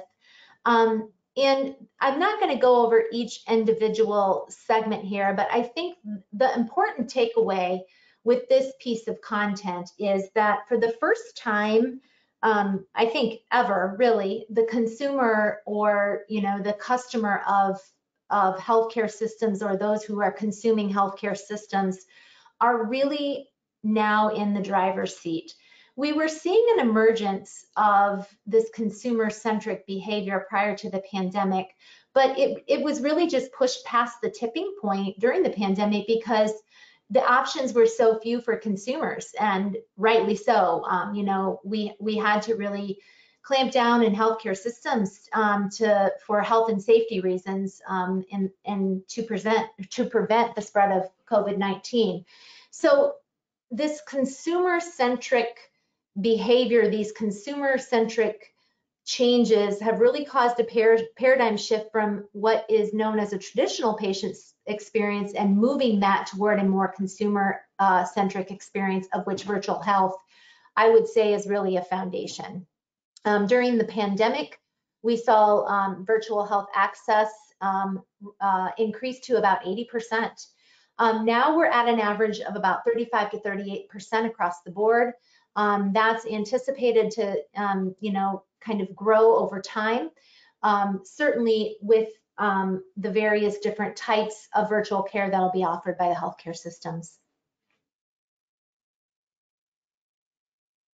Next slide. Uh, Tony, can I interrupt for a quick second just to ask about one of the items on the slide? Yes, absolutely. So that lower left box, consumer loyalty is lowest where demand is increasing. Yes. Is there, um, I mean, competition breeds advancement. Uh, competition breeds things getting better typically. But when it comes to patient care, um, is there anything that a provider or a hospital organization really needs to be aware of? Because at the end of the day, you want the patient to have the care. And if it becomes kind of a little bit of a competitive battle about where someone's going to go, is that anything that a hospital can try to ad- ad- address up front with how they offer their virtual care to kind of try to increase that loyalty or that touch point with that consumer to keep Yeah, them with them? That's a very good question. So we're seeing something um, in the market that we like to term co-opetition. And right now, there's there's a lot of um, competition uh, between um, primary care type services or urgent care type services from retail health. That is a space that is grow has grown by leaps and bounds during the pandemic. They certainly had a footprint prior to the pandemic, but you know, with the way that healthcare systems had to protect their their patients that were hospitalized as well as their staff, retail health grew. And you know, they have the minute clinics, they have the virtual health offerings, they have the health hubs. Um, you know, whatever flavor of, of, of whatever you know retail health outlet I'm referencing. I'm I'm really talking about CVS um, mm-hmm. with their model. So healthcare systems have recognized this. Um, and I, I think they're in the understanding like they're not going to come out and battle retail health to the ground because that's really that's a hard thing to do. Um, you know, with the way that the retail health offers its model. So what we're seeing in certain pockets and areas of the country is that healthcare systems are maybe going to the CVS or the Walgreens of the world and say, hey, listen, you know, um, we know that a certain percent of the market share is coming to your organization to utilize various types of primary care, urgent care services. Um, we might not be able to compete with the price point that you're offering, but maybe we could go into partnership and we could ensure that anything outside of the services you're offering would be referred into our system. So we're seeing more and more of that. Okay. We're also seeing healthcare systems um, really working very, very hard on the things that retail health does well. Um, and that's around health and wellness. And the consumer really does want that aspect of their own health and wellness and what they're doing on a daily basis to be brought into their traditional healthcare experience. I hope hmm. that was helpful. Yep, it is actually that, that, that partnership piece as well. So thank you. Thank you. And then just closing out, um, I think that, um, you know, there are so many different flavors of virtual health and what that is or what that means. And I, and I certainly don't want to insult anyone on here, but I do have to, you know, gently remind people that virtual health is just more than a video interaction on a virtual or video platform. Virtual health can be done by telephony, so it can be over a phone call. Virtual health can also be done via chatbots. Um, so I just, I, I like to challenge certainly traditional healthcare system and what their thoughts and ideas are around growing their virtual health program and I think the foundation of it is, you know, how do you retain certain aspects of your market share and gain mar market share by improving customer loyalty and trust through your virtual health platform. And that's really in, in our mind at Microsoft, that's how do we help our customers um, provide a virtual health experience that is a knowing experience? Like how do we help you know your customers or consumers or patients and how do we create um, really using the Microsoft Cloud for Healthcare and the Teams component of that and the CRM component of that as uh, a way to create uh, a longitudinal experience, a record that is integrating different clinical systems that you're already invested in and, and pouring that into the virtual health experience. And that is an experience that we not only want to be able to have a patient have a delighted experience. We want the people providing care in, in the healthcare systems to also have a delightful experience. So we think about that in terms of how we help our customers solution out virtual health. Excellent, excellent. Okay.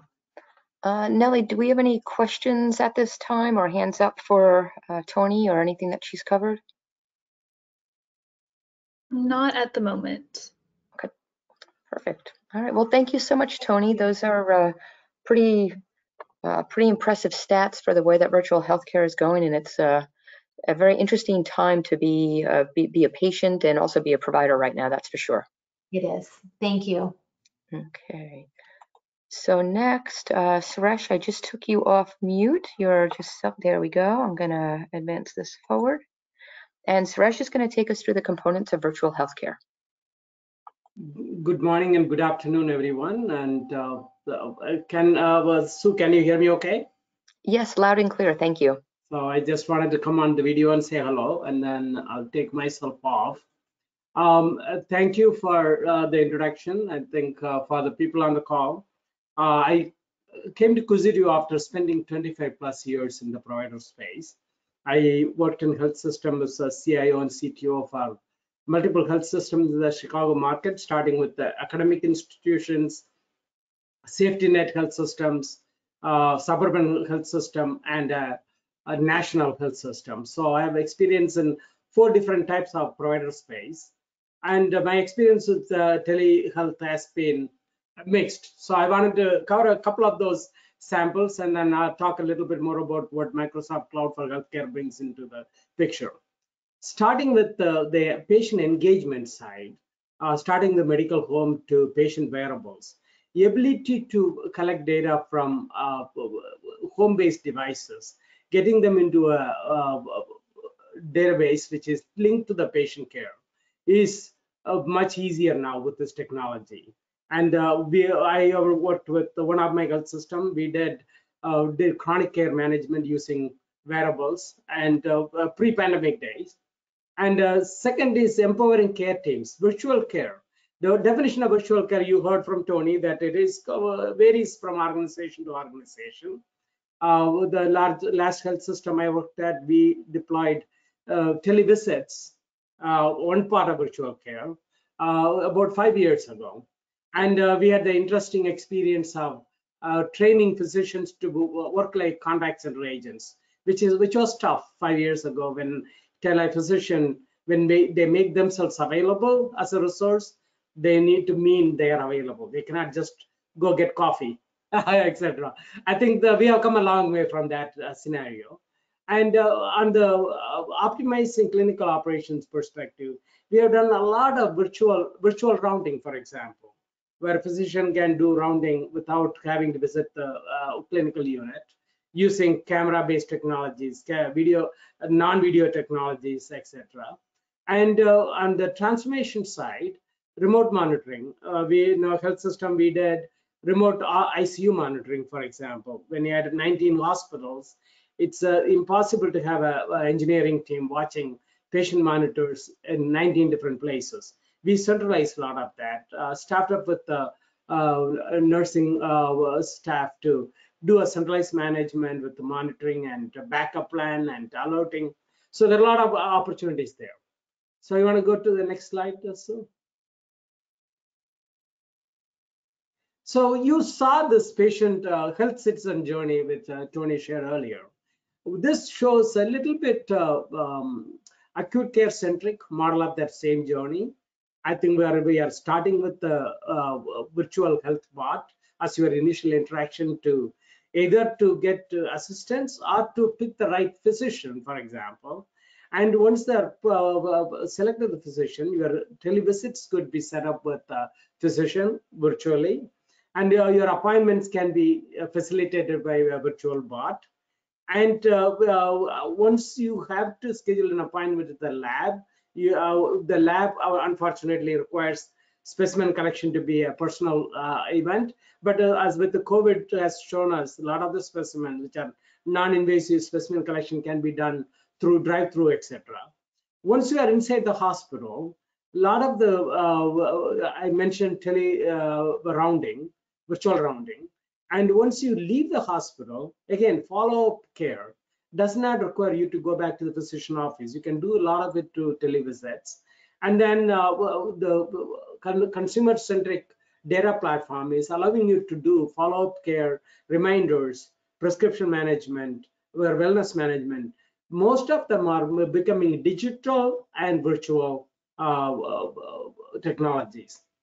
So I want to go to the next slide, please.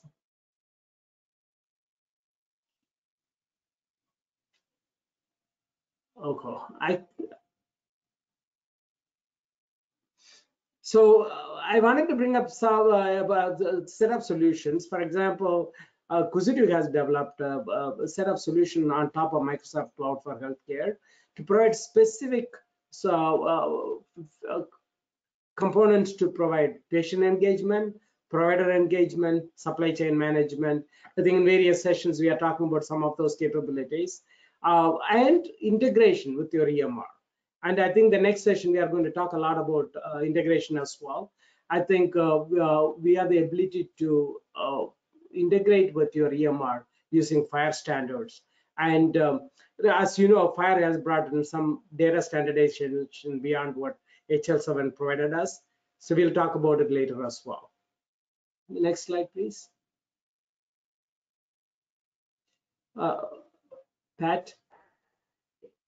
Thank you, Suresh. Um, so it was almost like the pandemic overnight um, caused an increase in virtual healthcare. Um, uh, physicians were no longer seeing patients in, in the outpatient setting unless it was a, a, true, true emergency. And so we saw that like 80% of patient visits became virtual. This was like um, many organizations had the technology in place to do virtual visits, but it got stretched to the limit because before the pandemic, virtual visits were like less than 10% of a normal organization's um, visits. So, uh, but patients actually grew to like having virtual visits. I know um, the millennial generation is like, okay, can I do this virtually? They want to do everything virtually. Um, and so they'd rather do a virtual visit if they can than to go and um, travel and, and, so forth. So virtual healthcare is here to stay. Um, it has decreased back, as, um, as Tony said, to about 40% uh, of visits at this point. But we'll see as technology improves, that number uh, will go up again. Next slide, please.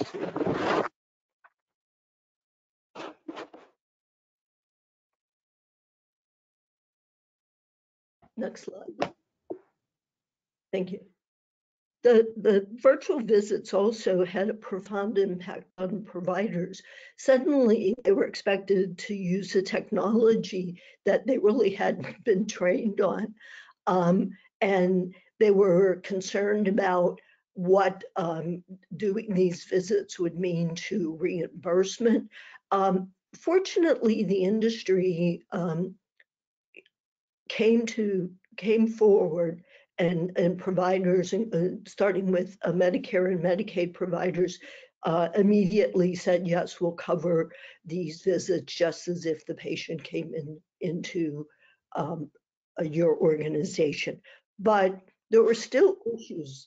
Um, while if I go to a physician's office and I'm put into an exam room, I might be willing to wait 15 minutes or 30 minutes for the physician to actually come on. I'm certainly not going to sit in front of uh, my computer screen waiting for the physician to show up. So there's a need for behavioral change on the part of the physician as well as the patient. And then there's the whole integration of the virtual technology with the provider's electronic medical record. And, you know, initially that was uh, problematic, although it, it, it has been improving and then the ability to use diagnostic equipment.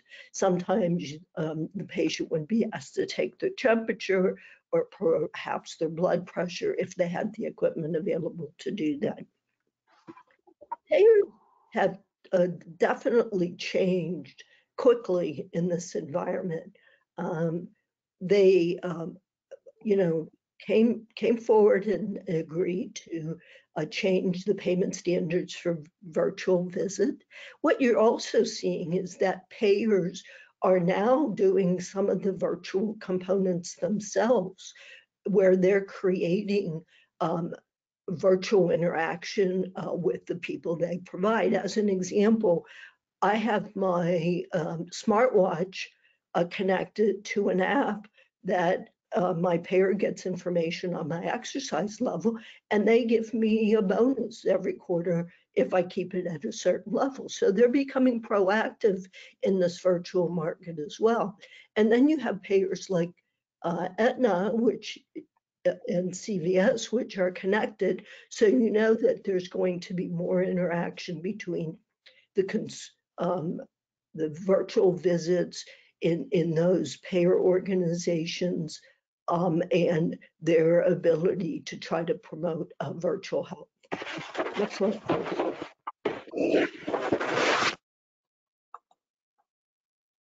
So integration, you know, continues to be an issue.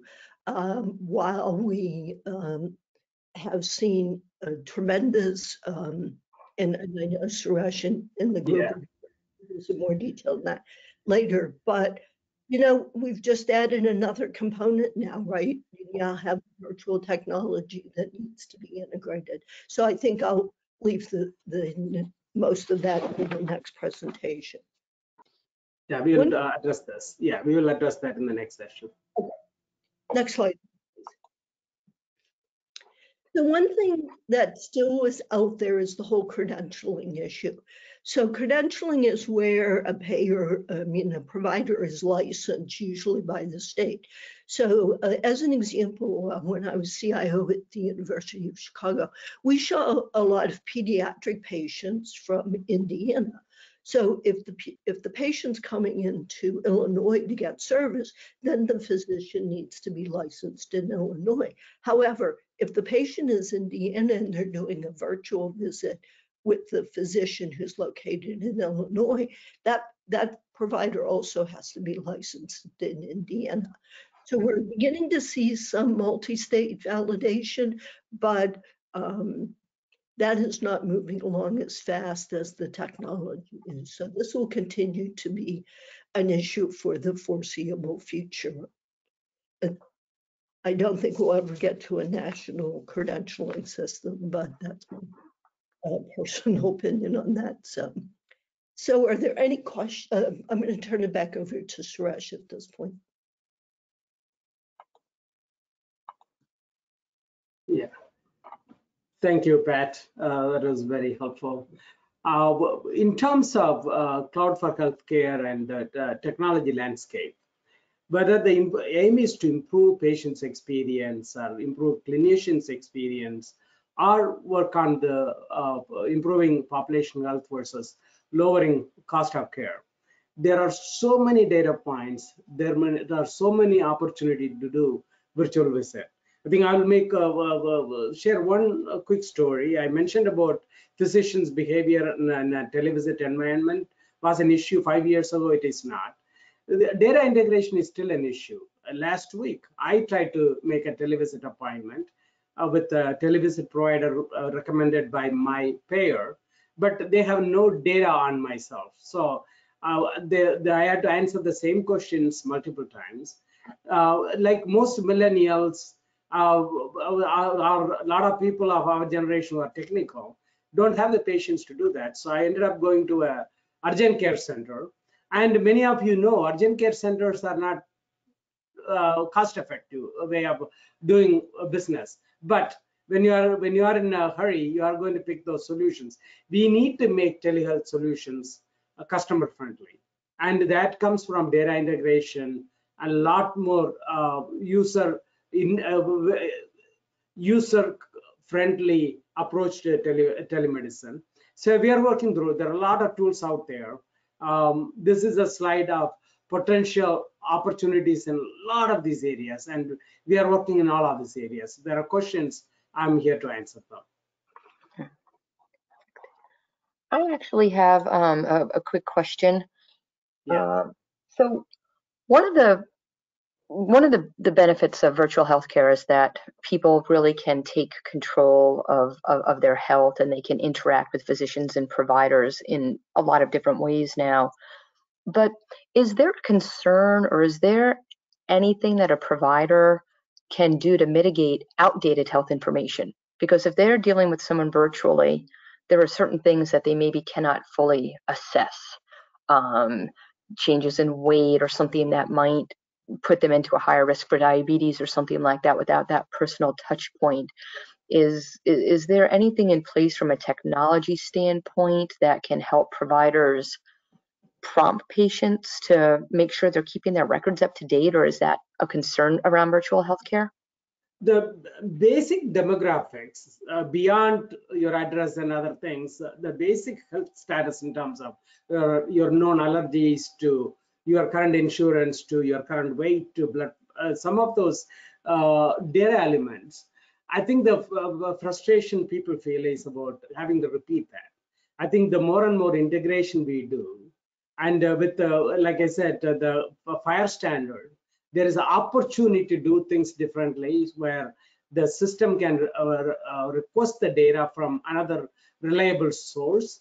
In a larger health system, it's much easier to do but uh, when uh, when an organization is setting up a tele televisit, I'm talking about just the televisit portion of telehealth, because there are million components of telehealth. The televisit portion, whatever the platform that is being used for televisit, it's tied to the primary EMR of that particular health system. And uh, as long as the patient is uh, previously known to that health system, that data should be available. For a patient coming in from a different health system, due to geography changes or due to other reasons, I, it, it will be okay for them to repeat some of the data. Even there, if there is a way to query the other health system and get the data, uh, that would be the optimal scenario. And more and more of IoT, um, you know, thermometers are Bluetooth enabled. Um, uh, blood pressure cuffs can be Bluetooth enabled. Um, uh, the ability to weigh yourself on a Bluetooth enabled device. Those things are are there, and um, sometimes uh, payers are actually paying for patients to have those things so that the, they can do better monitoring, like in the case of diabetes. So I think we'll see more and more changes in in that mm -hmm. as time goes on. This is Tony, and I couldn't agree more with with both points. And another important aspect of being able to provide an experience for patients or customers with virtual health that's ideal is utilizing that relationship management piece of it, which really is founded in the, the CRM. You know, we have the electronic health record as a clinical source of truth, but the CRMs are really emerging as the customer source of truth. So, what are the mm-hmm. patient profiles that are in those CRMs. How do we integrate that seamlessly into our virtual care experiences? Yep, and yeah, what solutions can then le leverage all, and, and, and our next session is on uh, data insights, um, because then we have more more and more data and how to leverage that into that whole connected care, virtual care um, experience for both the patient and the provider. Okay. Tony, could I um, ask a, a question regarding, um, I guess, opportunities that providers have with virtual healthcare. Because one of mm-hmm. the pros and advantages of it is to be able to reach at risk populations or maybe underserved populations. Can you mm-hmm. address anything around the landscape of that and how that is indeed a really great opportunity, not just for great patient care that maybe otherwise wasn't there, but also it's an opportunity for providers to expand their footprint? Yes, that's a very good question. And it's something that we're paying close attention to right now because you know, ideally, virtual care increases the access to care for everyone. However, you know, we there were issues with health equity prior to the pandemic, but I think that it's it's just this open wound that's been laid bare during the pandemic, and we really realized what a problem it was. So at Microsoft, one of the things that we really try to do around virtual care and, and, and our other solutions is making sure that this tool for good actually doesn't increase the amount of inequity. So with that said, in the virtual health area, what we try to understand with our healthcare customers is, you know, like out of your market share, out of your patient population, how many people do have access to a desktop or a laptop or how many people are signed up for your digital front door, your your your MyChart or whatever portal you're using? How many people have access to mobile phones? Most people have mobile phones. So there's that issue. Like, do people have a device that they can use to have a virtual care visit? Another big issue um, that we're committed to solving for is the access to 5G um, because a very a, good robust virtual health visit really does best when when it's humming along on 5G and we still have pockets in our country um, certainly in urban areas but, but most certainly in our rural areas where they don't have 5G access yet. So we just want to make sure that this tool for good is good for everyone Well Yeah, said, well said. yeah, I think I'll add, can I add one comment to that, Tony? I Oh, think absolutely. uh, access to um, uh, health is a major issue even in urban areas. In uh, uh, so, like uh, in the safety net health system I work, where I worked, we are uh, serving underserved population. And uh, the meaningful use, uh, the requirements were so stringent. Uh, I found a loophole which said if the you do not have uh, connectivity, you can get an exception. I said perfect because most of my community didn't have connectivity. When I looked into it, the connectivity availability was measured at the county level, and my my uh, service area was in a county which was the one of the most connected counties in the country, but my service area was not. And that was a tough uh, gap I had to work with CMS to fix. So there are a lot of those issues uh, uh, uh, play into it, but I think the like uh, Tony said, a smartphone availability, 5G connectivity, and is getting making things better.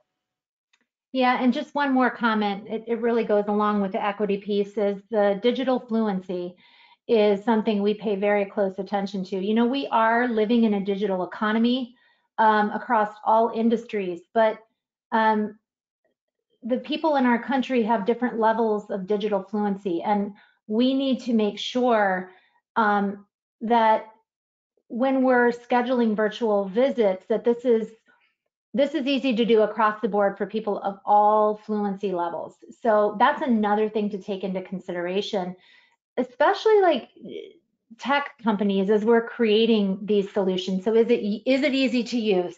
Is it easy to use? And how can how can we also support training um, so people can use these tools? Yeah, the, the training is uh, definitely, definitely a big, a big part of it because the more the demand, the quicker people need to be able to react and training can sometimes lag on that. So Yeah. excellent. All right. Nellie, do we have any questions from the audience or any hands up right now? I'm not seeing questions um, or hands right now. All right. Then wonderful. Tony, Suresh, Pat, thank you so much for your discussion and all the talking points around virtual healthcare. I think as uh, as was said, it is definitely here to stay and offers a lot of great great opportunities and um, also some some challenges around it. But uh, but certainly I think more more more opportunities than than challenges in the environment. So I'm going to stop sharing my screen for a second and queue up the next PowerPoint. Thank you very much.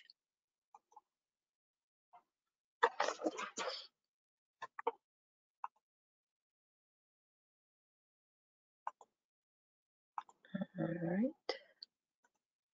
Let's see here.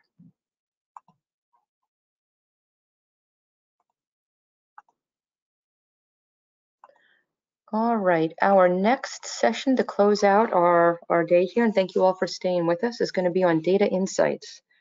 I think a common theme throughout every one of these presentations today has been data. So much data, um, how to really leverage it, how to really understand what the data is showing, um, and, and how to take action out of the data.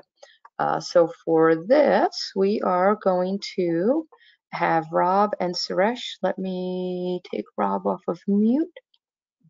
And we have Suresh self-muted. Perfect to kick us off here. So let me just advance the slides a little bit. And thank you, Rob and Suresh, for taking us through data and healthcare scenarios and how to really take all of these mountains and volumes of, of data and get some action plans around it. And I think, Rob, you're, you're up first. Do you want me to advance the slides? Oh, how did I mute you again? Riz. Sorry. Oh, Uh, here we are. I was like, I know that that's not on my side this time. Generally, I'm the one I that had has unmuted you, I technology guess, when I issues, advanced but the slides. I must have got my mouse over there a little bit too far, so sorry about that. So, no, no, no, no worries at all. If if you don't mind, I'm happy to go ahead and uh, advance the slides, or you can do it for me, either one. Okay, I- you have mouse control right now, so you should be able to move them right ahead. Great, thanks so much. And and I think Stu, you teed this up, and again, thanks to everybody for hanging with us. We talked a lot today about the importance of data and the importance of modernization as a real fuel for being able to access data to really enable a lot of the insights around both clinical and operational uh, challenges and opportunities that we are all facing together what I want to do in my short time with you here is to start talking about some of the things that we have been seeing as to how data has been used. And I'm going to turn it over to Suresh, who's going to talk to you a little bit more about just kind of how then we have worked with customers to enable some of these uh, data-driven insights that have improved their overall position across that quadruple focus of our healthcare providers around patient satisfaction, physician engagement, quality of care. One of the first things that we have been really working in depth with many of our healthcare providers on is around patients not coming to appointments. We know that this has been a challenge for years and years, and, and one of the very common approaches today is a one size fits all. We know that having that loss of patient is not really even as much of an operational challenge as it can be a actual quality of care challenge. The follow-up visits, the initial visits are all very critical parts of the care chain in ensuring that the patients are adhering to the treatments that are scheduled for them. So when we think about the operational aspects of this, there's certainly consideration for the loss of that appointment time slot that could have been used for another patient, but it also then can increase wait times for other patients as well. So when we looked at the primary approaches around no-shows, what we found is that data can actually be a very helpful enabler in really altering our approaches to helping get better adherence to patient appointment times. Using variables such as demographic data, time of day, insurance type, geographic location, all of those things we found have been helpful in determining which patients respond best to what types of uh, communication in helping to reduce the amount of no-shows for patient appointments. So again, one area that we found really truly hits across all of those four segments of the healthcare quadrant. A companion to that then is looking at all of the patients and looking to determine what their propensity to pay is. We know that while insurance is one of the primary factors in our patients choosing a healthcare provider, geography being a close second, we also know there are very many other factors that can be part of uh, an early determiner whether they have the ability to pay and whether or not they'll have the propensity to pay. This isn't just about addressing all of the rising premiums or copays. or just simply, again, adopting a one size fits all around requiring all copay, all upfront, all the time. Because we know that sometimes that creates a very barrier to actual the, the treatment plans that we want to try to avoid. First and foremost, we want the patients to get the treatment that they need. So this is much more about not just the non-payment, but really is the non-payment as it kind of relates to the previous scenario. What we do is use data to detect patterns in your clients that can help determine which clients are more likely to have a challenge when it comes to paying their bill. This also can be something that has to be reevaluated over time because it's not simply a one time this patient is going to not be able to pay their bill, but more what are the factors influencing your patient populations that ultimately may lead them to avoid care because of their inability to pay. Together, I have mentioned that the core of this is about care plan adherence. That's across medications, it's across appointments.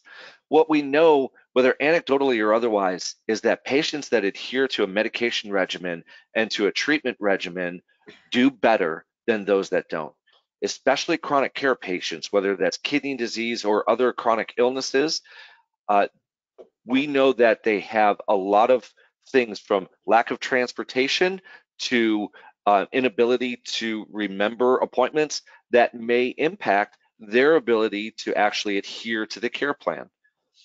Similar to what we're doing around ensuring that patients adhere to their appointments and are and do have the propensity to pay, that would often then include them being able to make their visits.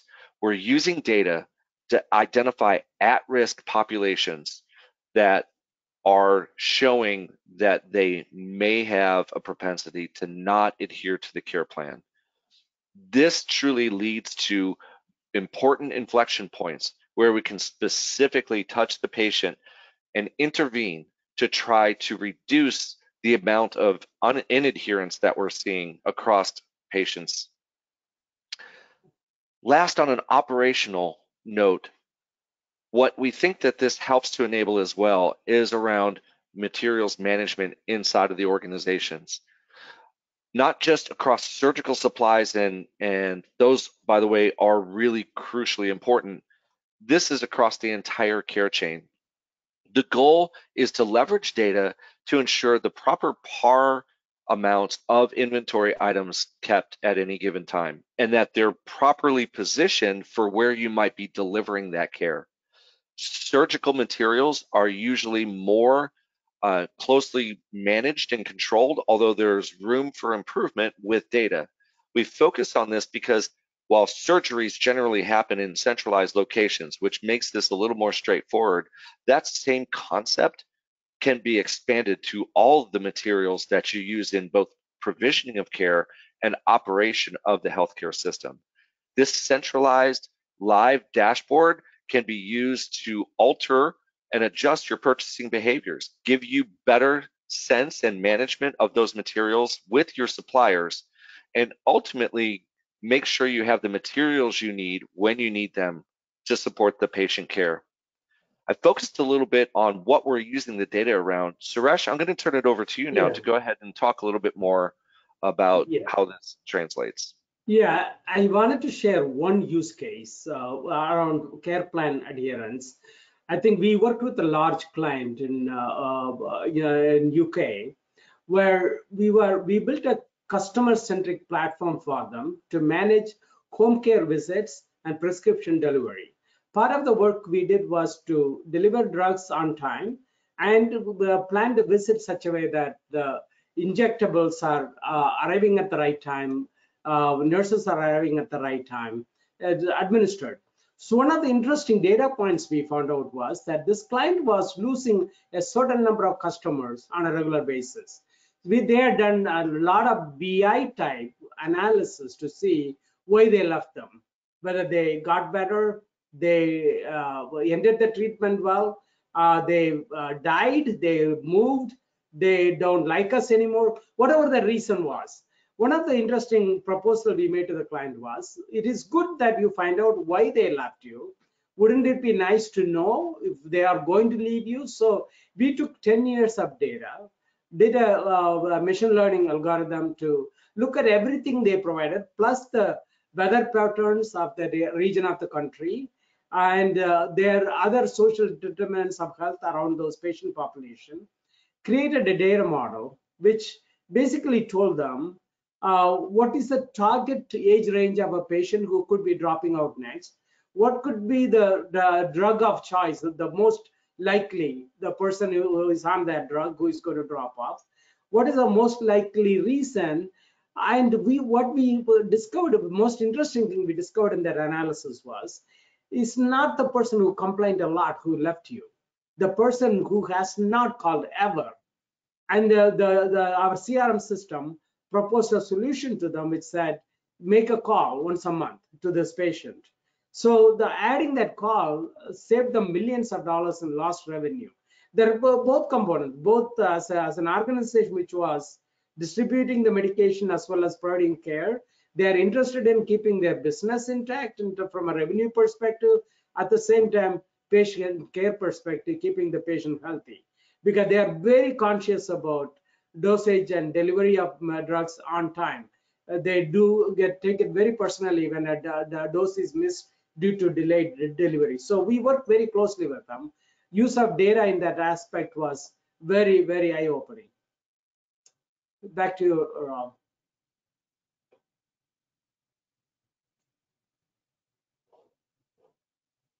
All right, so I think I can advance the um, next slide for Thank you, you. Suresh.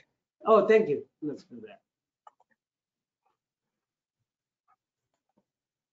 So in, ter- in terms of data, uh, I think one of the issues we dealt in healthcare uh, provider space is a lot of silos. I think uh, uh, many of you know we worked with the HL7 standards over 25 years to make sure uh, transactional data is shared between systems so that we don't have too much duplication, all of that. So we allowed people to replicate data across multiple systems using standards. But there has never been an attempt to bring the data together. So the, when the data comes together is when you can provide insights which are brings you more knowledge about things it lets you make informed decisions it can reduce risks to uh, delivery of care and uh, uh, so analyze the data to make sure that your services are on par with or are better than competition and you can create personalized treatment of course and uh, and uh, potentially lower costs because there are silos of data which may indicate duplication of processes or products and uh, we can eliminate those as well. Next slide, please. So uh, I want to share one of the use case, one of the solution sets we have built, like where, where there is a data layer we built on top of Microsoft platforms which are using my uh, Azure components, which will allow you to bring data in from your EMR systems, one or more. I came from a health system where I had four EMRs and uh, uh, across 19 hospitals and 250 clinics. Uh, so bringing that data into a, a, singular database and then having to using the tools to build solutions on top. We have built solutions which are uh, consumer-centric solutions, which can be portal, apps, uh, or could be non, non-interactive items, whether it is uh, data we are providing for education or self-service. And then a CRM-centric solution, which allows patients or consumers to keep their data uh, current, as well as keep them informed of the data coming from the health systems from a CRM approach rather than from an EMR approach. And then, of course, we build solutions around the ERP to improve supply chain around patient care. And there are custom solutions we have built. For example, we built, a, we automated the uh, green book used by uh, pregnant uh, mothers in UK. We replace them with a Power App, which they can carry with them. and the data shared with all the caregivers without having to lose the paper. And uh, there are AI-based solutions, whether it is cognitive services identifying people in the OR, or identifying the implant, or using augmented reality to identify the right size of the implant rather than like most our surgeries when there is an implant happening uh, the supply chain and requires them to send five different implants what is the expected size of the implant plus one plus two and minus two and if uh, if uh, one of the customers we worked with is to analyze it such a way that we can bring it to plus one and minus one reduce the exposure of five implants to down to three that will save them so much in uh, other costs associated with that. So those are a couple of the use cases. Next slide, please. Again, we talked about multiple opportunities to collect data across systems, uh, whether it is related to improving clinician experience or patient experience, uh, improving patient uh, population health, or improving operations. And uh, these all these data points we're bringing the data together into a centralized, uh, e easily accessible platform is the key. And uh, uh, one of the things I mentioned earlier on is that HL, if you remember, HL7 was brought in as an integration component for uh, sharing operational data. And then uh, FHIR was brought in to do application level integration where an application can get data from another source but one of the side effects of FHIR is FHIR also brought a normalized data model for patient care. So the instead of every EMR vendor having a different data structures, FHIR pro provides a basic data structure for an EMR.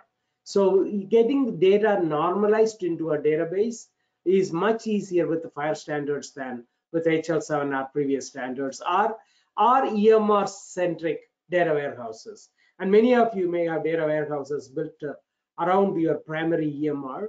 And uh, it is uh, it is very difficult to make decisions using that platform, using data other than that is coming from EMR, because there are not a lot of standards around that. And uh, this uh, standards-based uh, data platform will allow you to bring data from your EMR, from your population health platform, from your IoT devices, your DICOM devices, and other consumer and customer facing databases as well. Um, next, uh, this is the last slide, Sue. There is, oh, okay. I think uh, Robert coming back on, I'm assuming.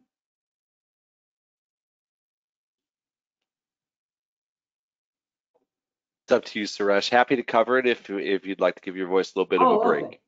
Uh, no, uh, no worries. I can cover this one and then I can uh, uh bring it back to you. Uh, okay. A few things I want to point out. I think uh, one of the advantages of unified data platform is bring not only bring data from your EMR and financial systems as well. And I came from a health system. We had 702 application platforms and getting data into a, a singular unified data data platform allows you to bring data from those uh, applications as well. Everything from, for example, we had difficulty getting employee health data to HR data to EMR data into a single platform. And uh, it's everything became more complicated with those kind of platforms. And uh, the AI insights, I talked about, about the use case related to uh, the care plan adherence, medication adherence, and uh, compliance and that kind of AI insights are a lot more effective when you have a lot of data and, and all the data in one platform. And uh, and also this uh, this uh, one of the clients we worked with where we are creating this centralized data platform, creating insights which can create specific workloads and that can be fed back into your operational system.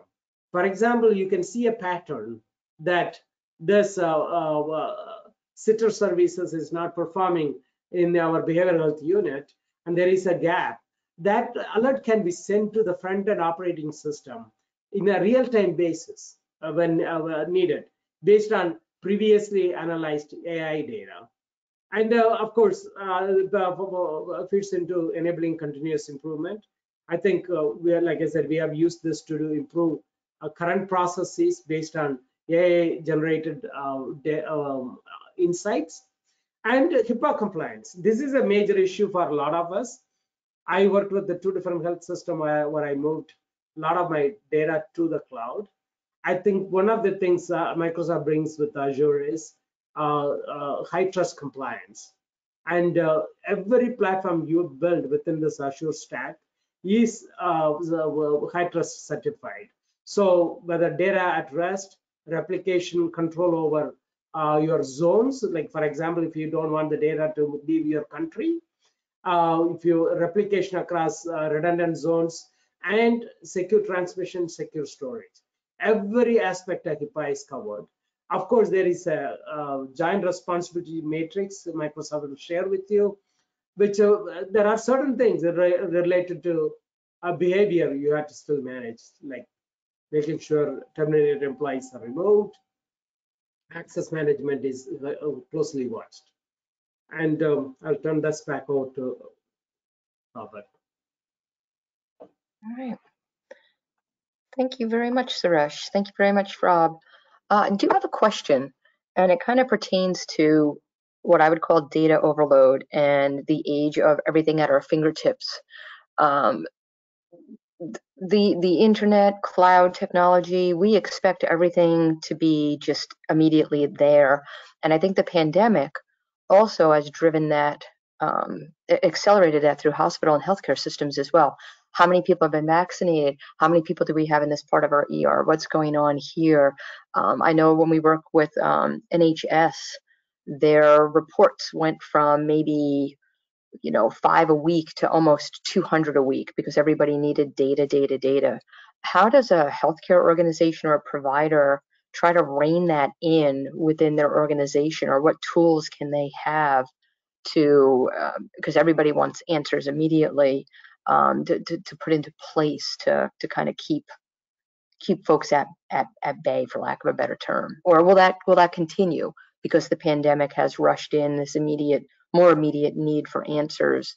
Is that something that you foresee as being an ongoing and accelerating the need for even more and, and better ways to look at data?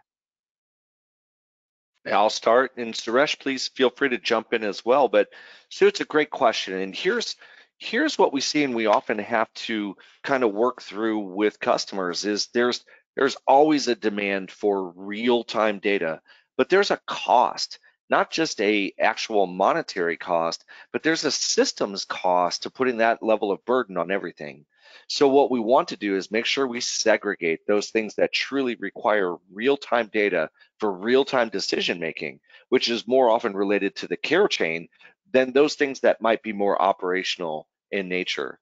The other really interesting trend that we've been watching is around self-service BI, which is really just a way of saying centralize all the data, enable users to be able to access the data in a controlled way, layer in governance on top of the data so that there's guardrails on what they're able to do. And that way, what they're usually asking for is real-time access to the data, not necessarily data that's refreshed in real time.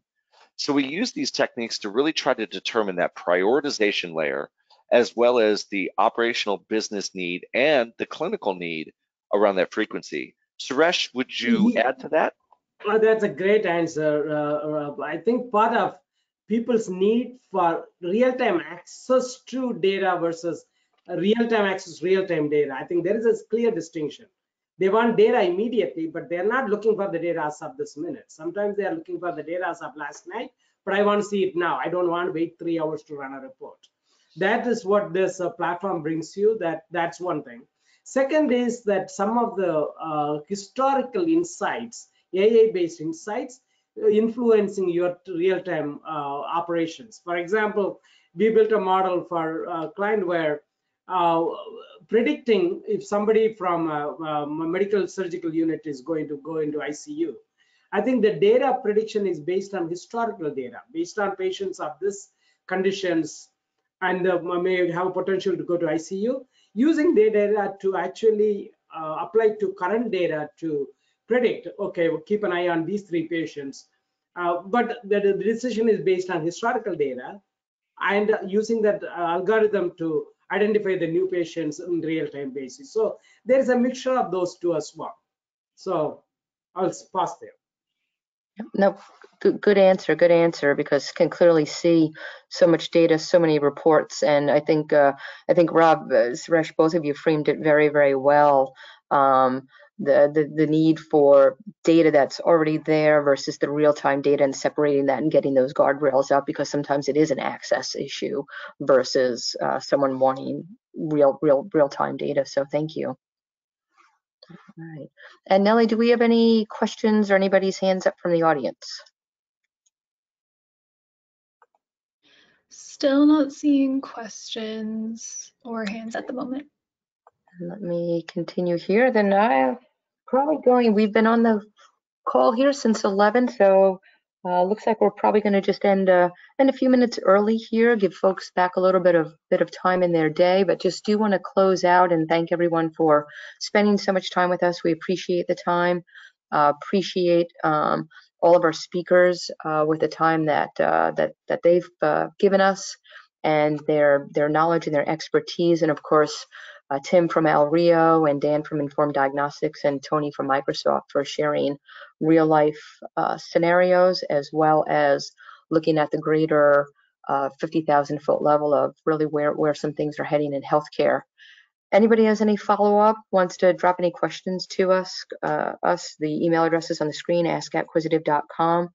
And we are trained through Microsoft with their Catalyst program to go through and do envisioning workshops and design workshops and idea workshops to really look at what is the um, issue, the, the problem, the challenge that the customer has, and then figure out what are the steps forward to, to providing those solutions and leveraging all of the advances with technology to drive that transformation. Uh, so thank you all. We will be following up an email uh, in about a week with link to where the uh, recordings are and just gathering some follow-up feedback from everyone. But thank you, thank you all, and I hope that everybody has a great, a great rest of the day and stay safe.